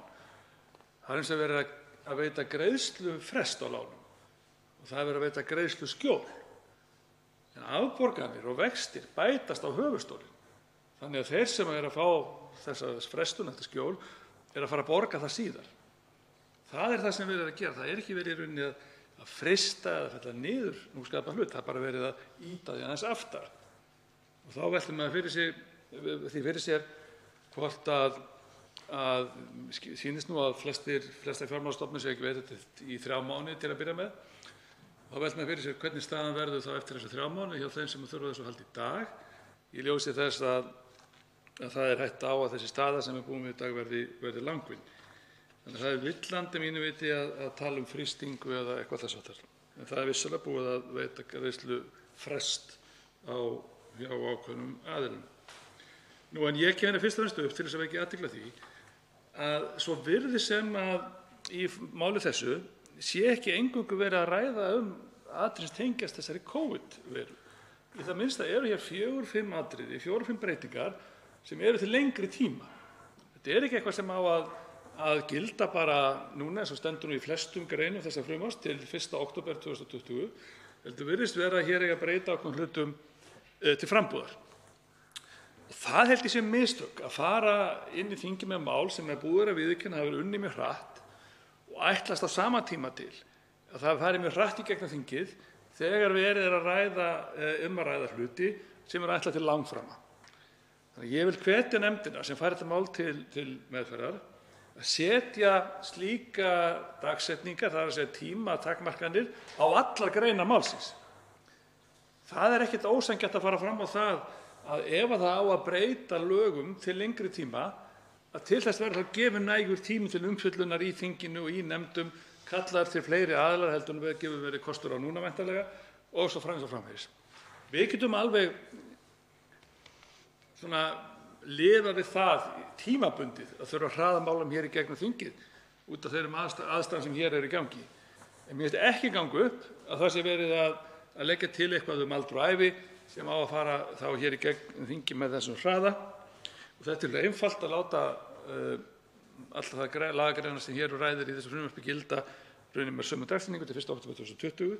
Það ætti ekki að koma eða skemma málið að nokkur hluta myndi örugglega liðka til og jafnir flýta fyrir afgreiðslu þess hér í, í þinginu. Það var fyrst og stærsta uh, vilja fosti sem vildi koma að að segja að uh, það er, var uh, sagt, hluti þess að var ekki ótímasettur heldur hefur takmarkanir eins og aðra greinir. Þá tekur til máls háttvirtur áttundi þingmaður Suðurkjördæmis Karl Gauti Hjaltarsson. Herra forseti, ég ætlaði ekki að lengja þessu umræðu mikið heldur að aðeins að fara það er aðtöðsend sem ég hef og, hérna vangaveltur og ég er vonu að það fari, fari þá til vitneskju nefndarinnar og það sé þá hugsanlega hægt að fjalla um þar og gera kannski lagfæringar ef, ef ef svo ber undir. Ég geri mér í fyrsta lagi grein fyrir því að þær greinar sem ég hef búin að skoða á þessum stuttatíma eru í fyrsta lagi til bráðabirða, tímabundið. Ég geri mér grein fyrir því og gildi ekki nema já, út, já, eitthvað fram eftir þessu ári, fram, fram á haustið, flestar. Þannig ég ger átta mig á því og ég átta mig einnig á því, herra forseti, að, að þetta eru heimildarákvæði, um, þarna er sýslumönnum, nú lögreglu og dómurum uh, veitt heimild til að fara ákveðna leið, stytta sér leið, uh, gera hlutinni með öðrum hætti og einfaldara hætti eh, eins og hæstv. ráðherra eh, kom að, eh, innleiðingu á rafrænni stjórnsýslu til, einföldunar og til þess að gera hlutina meðfærilegri, ekki of þunga í vöfum. Ég ger engar athugasemdir við það uh, í sjálfu sér að hlutinni séu ekki einfaldir, þeir séu ekki skilvirkir. En ég geri athugasemdir við það ef að í þessu frumvarpi eru ákvæði sem einfalda hlutina fyrir lánastofnanir á kostnað heimila. Það er það sem ég geri athugasemdir við og alvarlegar athugasemdir við ef það er uh, að finna í þessu, þessum greinum eins og ég spurði hér áðan varandi 10. og 12. grein. Nú, ég átta mig á þessu. Um, mergurinn málsins er kannski þessi. Ég var að vinna við þessi mál í, í, í áratugi og ég var aldrei, eða mjög sjaldan var við það að það var einhver örtröð á skrifstofum sýslumanna við framkvæmd, framkvæmd þessara athafna, þar að segja að, að fara að gera það nauðungarsala, nú með einhverjum undantekningum, en það var yfirleitt ekki örtröð. Þannig að ég spurði þess vegna á því tilefni uh, hæstv. ráðherra að þessari spurningu hvað er það sem knýr á um breytingar núna í miðjum veirufaraldri að breyta uh, þessum lögum eða, eða koma með þessa bráðabirgðaákvæði í tí, eins og 10. og 12. grein uh, fjalla um. Það var einfallega mín spurning. Hvað er það sem knýr á um? Ég les það líka í greinargerðinni að uh, þetta verðist að vera unnið í mik miklum flýti og hæstv. ráðherra sagði það sjálfur hér upp í ræðustól. Að þetta við borið hratt að og unnið miklum flýti við skulum þá vona það og, ég tek undir mér á þeirra að þetta verði þá lagfært ef einhverja agnúa er að finna í þessu í meðferðum nefndarinnar.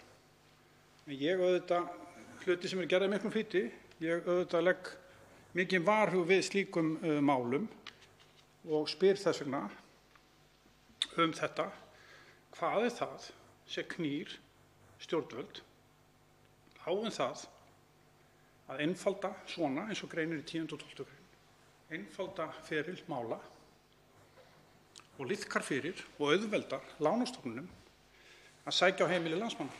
Þetta var einfalda mín spurning. Hvað er það sem knýr á það? Það er ekki örtröð alla jafna á skrifstofum sýslumanna þegar þeir taka fyrir aðfaragerðir eða nauðungssölur. Það er alla jafna ekki örtröð. Stundum eru þær einungis tveir mættir, sýslumaður að fulltrúi sýslumanns og, gerðar eða fulltrúi gerðarbeðanda. Það er svona algengast. Svo mætir einn og einn. Þannig að ég bara einfallega spyrja því hvað er það sem knýr á um þessa breytingu? Ég er ekki að tala um breytingar í öðrum greinum uh, þessa frumvarps. Þetta er einungis varðandi aðfaragerðir og nauðungarsölur. Ég, ég eh, skil það vel að rafræn framtíð er kannski eitthvað sem við höfum eftir að sjá og, en, uh, og þetta má kannski íhuga og, og, og móta svona frumvarp en akkurat núna, hvers vegna? Það er mér spurning. Hvers vegna? Og þetta með óskýrleikan í 10. grein og 12. grein, eh, hvort það var báðum greinum um annari, en það tala um fyrirtöku, að eh, lögin tala um það, núverandi nauðungarsölulög til dæmis, að það eru ýmiss konar fyrirtökur aðra en bara fyrsta fyrirtöka. Það eru allskins aðra fyrirtökur. Og menn getur bara flett upp í lagasafnum til að sjá það. Þannig að ég tel að nefndin þurfa að huga þessu, hvort að það þurfa að uh, þrengja orðalagi í greininni þannig að það sé alveg skýrt við hvað er átt ef það er einungis átt við um þingfestingu málsins. Fyrstu, allra fyrstu fyrirtöku þegar málið er lagt fram. Ef það á þá ekki að gilda uh, um fleiri fyrirtökur eða aðrar aðgerðir sýslumanna í viðkomandi máli.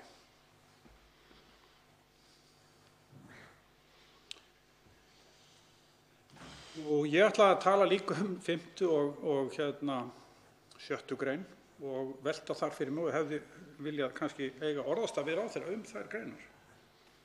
Ég pínleitið að velta fyrir mér, hef áhyggjur af því að setja þetta í hendur dómara og lögreglu að taka ákvörðun um það hvenær verði notast við eh, skýrslugjöf með fjarfundabúnaði. Það má vera að það sé í góðu lagi í einhverju tilvikum en uh, ég athugasemd við uh, sakborning ákærða í dómsmáli að það fari fram skýrslutaka með fjarfundabúnaði. Ég geri það. Ég verð að gera það. Það er algjör undantekning, herra forseti, ef það væri leyfilegt. Og hér er undantekning, undantekningin fyrir framann okkur í frumvarpi og uh, gefur auðvitað vægi ef þetta verður að lögum. En ég er svona að velta fyrir mér hlutum eins og réttlátir málsmeðferð. Þá kemur við að hlutum eins og millilegalaus sönnunarfærsla sem dómstólar eða æðri dómstólar hafa nú verið að fetta fingur út í þegar að héraðsdómstólarnir hafa verið að taka hliðarspor í þeim efnum. Og ég velti fyrir mér ef dómar ákveði nú að hafa uh, taka þessi lög og, og uh, hafa þetta allt saman í fjarfundi og í einhverjum tilvikum, einhverjum málum, alvarlegum málum til dæmis, að þá gæti slíkur, slíkt mál, dómur í slíku máli, verið gerður afturreka fyrir aðri dómstólum. Ég sé það fyrir mér. Ef að aðri dómstól telur að, að þarna sé ekki fyllt eftir ákvæðum stjórnarskránar, 70. grein, um réttláta málsmeðferð út í ystu æsar. Það er einungis þetta sem ég hef við þetta aðtúa að þetta er lagt í hendur dómara, þetta er lagt í hendur lögreglu á rannsóknarstigi og uh, ég velti einnig fyrir mig varandi þessar tvær greinar hver er þörfin þarna? Hafa dómstólar eða lögreglan sem ráðuneyti talaði nú ekkert við þegar þetta var samið í upptalningu á samstarfsaðilum var ekki lögregla og ekki ríkissaksóknari. Var lögreglan að biðja um þetta? Er þetta til vandra hjá lögreglu? Slíkar upptöku, hversu, hvert verður þeirra gildi fyrir dómi? Hvert verður þeirra gildi fyrir dómi? Sakborningu stattur, heima hjá sér? Ákæri stattur, einhvers staðar á skrifstofu verjanda eða einhvers staðar annar staðar? Er þetta raunhæft? Hver er að kalla eftir þessu? Það er heldur ekki örtröð inn á skrifstofum rannsóknarlögreglunar. Það er yfirleitt rannsóknarlögreglumaður, vitnið eða sakborningurinn með honum. Og þar, er hægt að halda tveggja metra reglunni með því að færa stóluna í þá fjarlægð. En ég sé ekki alveg, ég sé ekki alveg, herra fórseti, þörfina á sumum af þessum ákvæðum. Ég ætla ekki að meta hinn ákvæðin, fyrsta til fjórðu greinar og, og, og sjöundu, áttundu og nýjöndu grein, ég hef ekki kynnt með þau nægilega, en uh, ég spyr bara þörfinni. Hver er þessi knýjandi þörf fyrir þessu frumvarpi, þar að segja þessum greinum sem ég er að nefna hér í minni ræðu? Og mér finnst það algjörlega ótakt ef að þörfin er svo að þarna sé verið að liðka fyrir eða auðvelda lánastofnunum meðferð sinna aðfararbeina og uh, nauðungarsölubeina. Ég vil ekki vera þátttakandi í slíkum, leik að liðka fyrir lánastofnunum í þessu ástandi sem nú er, þar sem að 10, 15, jafnvel uh, stærri hluti þjóðarinnar uh, horfir fram að atvinnuleysi. Ég vil ekki vera þátttakandi í því. Ég myndi frekar vilja vera þáttakandi í frumvarpi þar sem ákveðið væri að fresta þessum aðgerðum, fresta nauðungarsölum og, frista nauðungarsölur og aðfaragerðir í einhverja mánuði.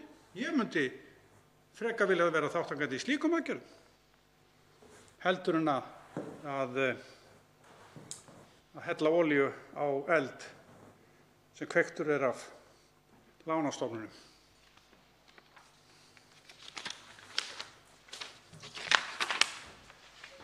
Málstekur hæstvirtur dómsmálaráðherra Áslaug Arna Sigurbjörnsdóttir.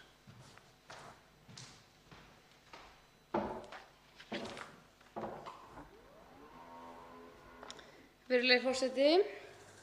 Eh, Ég vil kannski skýra enn á ný sum atriði sem þarf að skýra greinilega í þriðja sinn fyrir einhverjum þingmönnum varðandi þetta mál. Það er auðvitað svo að þetta eru ekki viðbrögð við efnahagsafleiðingum Covid. Þetta eru viðbrögð við samkomu og fjarlæga takmörkunum. Og ef það væri búið að kynna sér þau tilmæli sóttvarnalæknis og ríkislögreglustjóra um þær reglur, þá er það ekki bara um þá sem eru í sama herbergi, heldur allir sem eru á sama stað. Og þar telja líka starfsmenn. Og við sjáum þær áskoranir sem sýslumenn eru að mæta. Það geta einungis tíu mætt inn í hvert sinn til sýslumannsins á höfuðborgarsvæðinu af því að þar eru fyrir starfsmenn í sama rými og við þessu þarf að bregðast og við því hafa sýslumenn óskað sérstaklega svo að þeir geti sinnt verkefnum sínum sem skildi. Og anna, aðrar ákvarðanir um vernd fólks, vernd heimila, um viðspyrnu í efnahagslífinu koma fram í efnahagsaðgerðum stjórnvalda. En það er önnur umræða og hér er verið að gæta því að aðilar geti sinnt sínum verkefnum og það er auðvitað með ýmsum hætti enda eru þetta breytingar á fjölmörgum lögum. Og hér kom einnig fram að hv. þingmaður Gunnar Bragi Sveinsson taldi að sumar aðgerðirnar sem eru varanlegar ættu ekki að vera það. Þá langar nú sérstaklega að taka það fram að það eru aðgerðir sem lengi hafa verið í skoðun hjá dómsmálaráðuneytinu og undirstofnun og hafa verið á lista yfir þær breytingar sem þarf að gera til að liðka fyrir rafrænni málsmeðferð. Og það eru breytingar sem sjálfsagt er að ráðast í að verði varanlegar nú, enda eru þetta breytingar um að geta sent dánarvottorð rafrænt milli aðila, geta að bréfleg faðernisviðurkenning geti farið fram rafrænt. Þar er allt rafrænt nema eina afhendingin sem þarf að gera. Þetta er um ættleiðingarlög þar sem í undantekningum getur þá samþykkt rafrænt og um útlendinga, að sá sem sækir um dvalarleyfi geti undirritað rafrænt. Þetta er allt til að auðvelda og til að aðstoða fólk að bæta þjónustu við fólk. Og það er það sem stjórnsýslan á alltaf að gera, að reyna að bæta þjónustu, einfalda, flýta og að kerfið sé ekki fyrir. Og ég mætti ætla það að Miðflokkurinn myndi styðja slíkar tillögur. En svo er greinilega ekki og mikil tregða við rafrænar jákvæðar breytingar. En ég myndi leggjast gegn því ef uh, það væru tillögur um að gera þessi ákvæði bráðabirgða. En ef það niðurstaðan, verður niðurstaðan núna, þá mun ég koma með þær aftur, þessar nákvæmlega sömu breytingar, þessar fyrstu fjórar greinar frumvarpsins, enda hefur verið legið yfir þeim í lengri tíma og þörf er að breyta miklu fleiri lögum til þess að rafræn eyðublöð séu jafngild hinum. Svo, uh, svo við færum okkur hér yfir í meiri rafræna stjórnsýslu hvar sem við lítum. Og það er síðan hina breytingarnar sem eru undanskilin gildissviði stjórnsýslulaga samkvæmt 9. kafla þeirra laga og það eru sérstakar málsmeðferðarreglur og því eru þær hér bráðabirgðaákvæði enda þyrfti að liggja betur yfir slíkum breytingum og verður áhugavert að sjá hvernig þær munu reynast uh, taki þetta frumvarp gildi og það eru hérna sérstakar reglur en það var haft samráð við lögregluna þó það hafi láðst að taka það fram hér í samráðskaflanum sem ég sé, samráð við fjármálaráðuneytið, uh, forsætisráðuneytið, það var saman dómstólasýsluna, sýslumenn, útlendingastofnun, svo mætti lengi telja. Þetta frumvarp var unnið afar vel þó að það hafi auðvitað ekki tekið jafn langan tíma og farið í samráðsgátt stjórnvalda eins og svo mörg frumvörp sem uh, unnin eru, uh, sem taka ennþá lengri tíma og það var sett allur öll áhersla á að klára þetta frumvarp en gera vel og vanda til verka og haft samráð við alla þá aðila sem talið var þurfa enda snúa breytingarnar að fjölmörgum aðilum. En um, síðan er það auðvitað þannig að það sem ég þarf að leiðrétta hér kannski í þriðja sinn er hvað verður rafrænt. Af því að hv. þingmaður Karl Gauti virðist ekki skilja hvernig fyrirtökurnar fara fram og hverjar eru á skrifstofu sýslumanna og hverjar ekki. Það er fyrirtaka, byrjun uppbóð sem fer fram á skrifstofu sýslumanna sem er verið að bjóða upp á að gera með rafrænum hætti eða í fjarfundabúnaði. Það er síðan auðvitað það sem fer fram á eigninni sjálfri sem ekki verður rafrænt, enda mun flóknara eh, að reyna að gera slíkt rafrænt og það mun auðvitað fara fram með eðlilegum hætti. Þannig að ég held að hv. þingmaður ætti nú að skilja þetta nú. Um, en síðan vil ég bara ítreka það að tilgangur frumvarpsins er auðvitað aðeins sá að geta aðhafst í venjulegum málum með venjulegum hætti nema með rafrænum búnaði og að vera að brúa hér bilin bæði hvað varðar vegna þeirra takmarkana sem eru en líka taka varanlega mikilvægar ákvarðanir sem þarf til að hindra úr vegi svona takmörkunum sem lögin eru með að þurfi að vera á eigin hendi eða í e, skriflegum eyðublöðum og það eru líka mikilvæga breytingar til framtíðar og í takt við allar þær ymsu breytingar sem við erum að gera e, undir stafrænu Íslandi að fjárfesta meira í rafrænni þjónustu sem mun spara ríkinu marga, marga miljardar. Og ég vona að þetta frumvarp fái góða meðferð hjá og menntamálanefnd enda um afar jákvæðar og nauðsynlegar breytingar að ræða vegna þess ástands sem uppi er en líka út af aukinni áherslu á mikilvægi rafrænnar stjórnsýslu sem bætir þjónustu við fólk og léttir á sýslumannsembættunum og gefur kannski færi á að sinna þeim biðlistum betur sem þar eru. Háttvirtur sjötti þingmaður Suðvesturkjördæmis Gunnar Bragi Sveinsson veitir andsvar. Virðulegur forseti. Þetta var mjög ólíkinnt þessi ræði hæstv. ráðherra sem að situr hér í, í þingsal og, nei, í hliðarsal, kemur svo hér í ræðustól í andsvar við aðra þingmenn og kvartar yfir því að þeir séu að gera ráðherranum upp skoðanir eða leggja inn orðið í munn. Akkurat það sama gerir ráðherra hér, kemur og segir að þingmaður Gunnar Bragi Sveinsson sé á móti þessum greinum sem að hér var talið upp áðan, sem við talt upp áðan, að þyrftu betri umræðu um umfjöllun. Þetta ráðan ætti að hlusta betur þegar hún er hér í þinginu, loks þegar hún kemur í þingið ætti hlusta betur.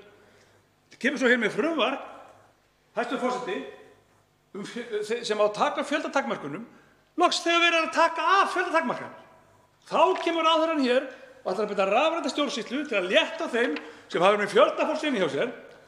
Þegar nokkri dagar er í það að það fara að fjölga, að taka fjöldtakmarkanir. Hvers vegna kom þetta ekki fyrr? Hvað er ráðherra búin að vera að gera? Valla er búin að taka alltaf þennan tíma að breyta þessum örfáu breytingum sem hér er í þessu frumvarpi. Þetta er hreint með ólíkindum hvernig ráðherrann sér við. Og koma hér upp og segja það með einhverja laumum farþa í þessu plaggi, lauma hér inn einhverju breytingum til langframa þegar við erum að, hér í gegn máli sem tengjast COVID-faraldrinum og hóta hér þingmönnum eitthvað, já þá kem ég bara með þetta aftur að sjálfsög gera ráður að það kemur með þetta aftur ef þess að verður ekki breytt, ef þess að verður breytt. En við hljótum að gera þá kröfu til hæstv. ráðherra að það gefin tími þá til að fara yfir þær breytingar sem eiga að vera til langframa, að þær fái meiri tími nefnd. Og þar leiðandi er það algjörlega í boði ráðherra ef þetta frumvarpennar tefst hér í þinginu. Þá er það í boði ráðherra vegna þess að hún er hér inni í frumvarpinu með breytingar sem eru til lengri tíma langframa og þurfa gesti, þurfa yfirlegu, þarf að tala um. Það er enginn að segja að menn séu endilega á móti því. En fyrir ráðherrann þá eru sum okkar hér sem viljum fjalla um máli þinginu og gera það vandlega. Og hæstvirtur dómsmálaráðherra Áslaug Arna Sigurbjörnsdóttir svarar nú andsvar. Já, virðulegur forseti, það er auðvitað áhugavert að bæði sé sagt að málið hafi ekki komið nóg hratt og að það hafi komið allt og hratt og verið unnið í allt og mik miklu flýti. Og það er auðvitað ekki svo, það var vandað við málið, það var unnið og velt upp öllum þeim atriðum sem geta komið upp. Það verða ennþá tveggja metra tilmæli, það verða ennþá einhver takmarkanir til lengri tíma eins og sóttvarnayfirvöld hafa lagt til og þess vegna er þetta mikilvægt. Og það er algjörlega sjálfsagt ef þingið ákveður að gera ákveðnar þessar minni háttar rafrænu breytingar uh, tímabundnar og af því að þær skipta líka máli í að létta á sýslumönnum og því fjölda sem þar mætir núna daglega. Það skiptir máli, þær breytingar líka og ef þær eru bráðabirða nú þá koma þær bara með öðrum breytingum hér og það er felst engin hótun í því. Það er bara staðreind og svar við spurningu háttvirts þingmanns sem kom hér með spurningu og sagði hvort að þetta mætti ekki bara allt vera bráðabirða. Það var bara svarið mitt og segja þær hafa verið unnar lengur, þessar breytingar hefur verið lagst yfir sem og fleiri breytingar um rafræna þjónustu sem verið er að setja mikla áherslu á í öllum ráðuneytum og ég var bara að upplýsa ráðherra um það og að kalla það einhverja hótun um staðreyndir um það hvaða breytingar ég er að koma hér með til langframa, ef þær þurfa meiri yfirlegu, gott og vel, að breyta úr pappír í rafrænt fyrir fólk. Ég tel að þessar breytingar séu mjög vel ígrundaðar og þurfi þess ekki, en ef þingmenn munu telja það þá munu þeir gera þær bráðabirgðar og gera þær þannig að þær verði ekki til langframa. Og það er bara algjörlega undir þinginu komið, er þetta frumvarp hér komið inn til þinglegra meðferðar og ég býst við það að nefndin muni taka það mál á dagskrá og nýta tímann sinn núna í það að fjalla um málið og hvaða breytingar hægt sé að gera á því ef einhverjar eru og ef nefndin telur þörf á því. En ég tel málið þannig upp, uppfært að þær sem eru varanlegar eru þannig úr garði gerðar að þær, e, það sé búið að skoða það vandlega það var það sem ég var að segja hv. þingmanni af því hann sagði og lagði mér það orð í munn að þetta hefði allt verið unnið í einhverju miklu flýti en kvartaði líka yfir að það væri ekki komið hérna fyrr. Og það var ekki komið þetta fyrr af því það var vandað til verka við þær breytingar sem þó er að gera að beiðni sýslumann í landinu þar sem það er mikill ágangur og mikill fjöldi sem leggur leið sína þangað daglega. Þá veitir anþá þýðra sinni hátvirtur sjötti þingmaður Suðvesturkjördæmis Gunnar Bragi Sveinsson. Virðulegur forseti. Það getur vel verið að ég sé farin að kalka og eflaust er það nú bara hætt á því að ég sé farin að kalka. Ég er töluvert mikið eldri en hættur ráðherra og búinn að kannski að, að eh, ekki fylgjast nógu mikið með líka. En ég man ekkert eftir að hafa sagt það að þetta mál hefur verið unnið sem eitthvað flýti. Það getur vel verið sagt það. Það hafa aðrir sagt það hins vegar, hæstvirtur ráðherra. En ég hins vegar segi það alveg fullt og, meina það, virðulegur forseti, að koma nú inn með þetta mál hér á einhverju spretti þegar á að fara að létta af fjöldatakmarkunum finnst mér svolítið kostulegt. Þetta mál þetta koma, það hefur fyrir laungott verið komið í þingið ef það skipt svona miklu máli. En það er ágætt að heyra á þeirra núna að segja það í þetta skiptið að jú, þingi getur, jú, jú, sett hérna svona alla greinar og ráðherra mun ekkert fyrtast við því. En það er bara þingið sjálfsögur ræður því, ekki ráðherran. Sjálfsögur er það þannig. En ég ætla að hvetja ráðherra eins og til þess að hlusta á, á ræðu sína hér áðan, setni ræðu sína. Og ég verð bara að byrja að fórseta afsökunar á því ef, að, ef að ég hef, ef mér sér svona, ég get ekki heyrt betur en að ráðherra væri beinlega að segja það, jú, jú, ef að þingi allar eitthvað að, að fara fylgt í þessi mál, þá kemur það bara með það aftur setna. Sjálfsögur, ráðherra gera það. En það er óþarf með einhver hótun að tón hérna þingið, eins og ráðherra var með í sinni ræðu. Þannig að svo vona ég bara hættur ráðherra gangi vel í sín störfum. Og hæstvirtur dómsmálaráðherra Áslaug Arna Sigurbjörnsdóttir svara nú ansvari síðar að sinni. Virðulegur forseti, hv. þingmaður sagði það og lagði það upp með það að það væri þörf á því að þessar fjórar fyrstu greinar frumvarpsins væru líka tímabundnar af því að málið væri unnið hratt. Það er það, ég veit ekki af hverju annars ættu þær að vera tímabundnar, en það var það sem kom fram í máli hv. þingmanns hér áðan og við því var ég að bregðast með því að segja að við þessar greinar hefur verið mikil vinna er, er bara verið að ryðja hindrunum úr vegi til að við getum haldið áfram rafrænum breytingum. Margar rafrænar breytingar hafa orðið nú að veruleika með reglugerðum og á rafrænu Íslandi án nokkurra laga, hind, lagabreytinga af því að laga hindranirnar hafi ekki verið. Það hefur ekki staðið í lögunum að það þarf að vera á blaði eða afhenda eigin hendi til að mynda og það eru þær breytingar sem við erum að gera núna en það hefur komið fjöldi eyðublaða inn á Ísland.is sem eru einmitt nákvæmlega það sama og þessar fjórar uh, greinar eru að kveða á um sem hafi ekki þurft lagabreytingar af því þær hindranir hafi ekki verið í vegi. Þannig að hér er einungis verið að ryðja úr hindrunum mikilvægum, uh, mikilvægum atriðum til þess að við getum hafið hér betri rafræna stjórnsýslu. Og það þykir mér sjálfsagt og ég, mér þykir sjálfsagt að það sé varanlegt og ég mun leggja til að mun fleiri atriði í íslenskri stjórnsýslu verði rafræn á næstu misserum. Þá er andsvörum lokið. Fleiri hafa ekki hvað til hljóðs og er umræðu lokið. Frumvarpið gengur nú til annarar umræðu og allsherjar og menntamálanefndar ef enginn hreyfir andmælum og það er samþykkt. Útbýtt er á fundinum á þingskjali 1251 aðgerðir í þágu atvinnulausra vegna COVID-19 heimsfaraldursins. Þetta er þingsályktunartillaga, flutningsmaður Logi Einarsson og fleiri. Fleira liggur ekki fyrir á þessum fundi. Boðað verður til næsta fundar með dagskrá. Fundi er slitið.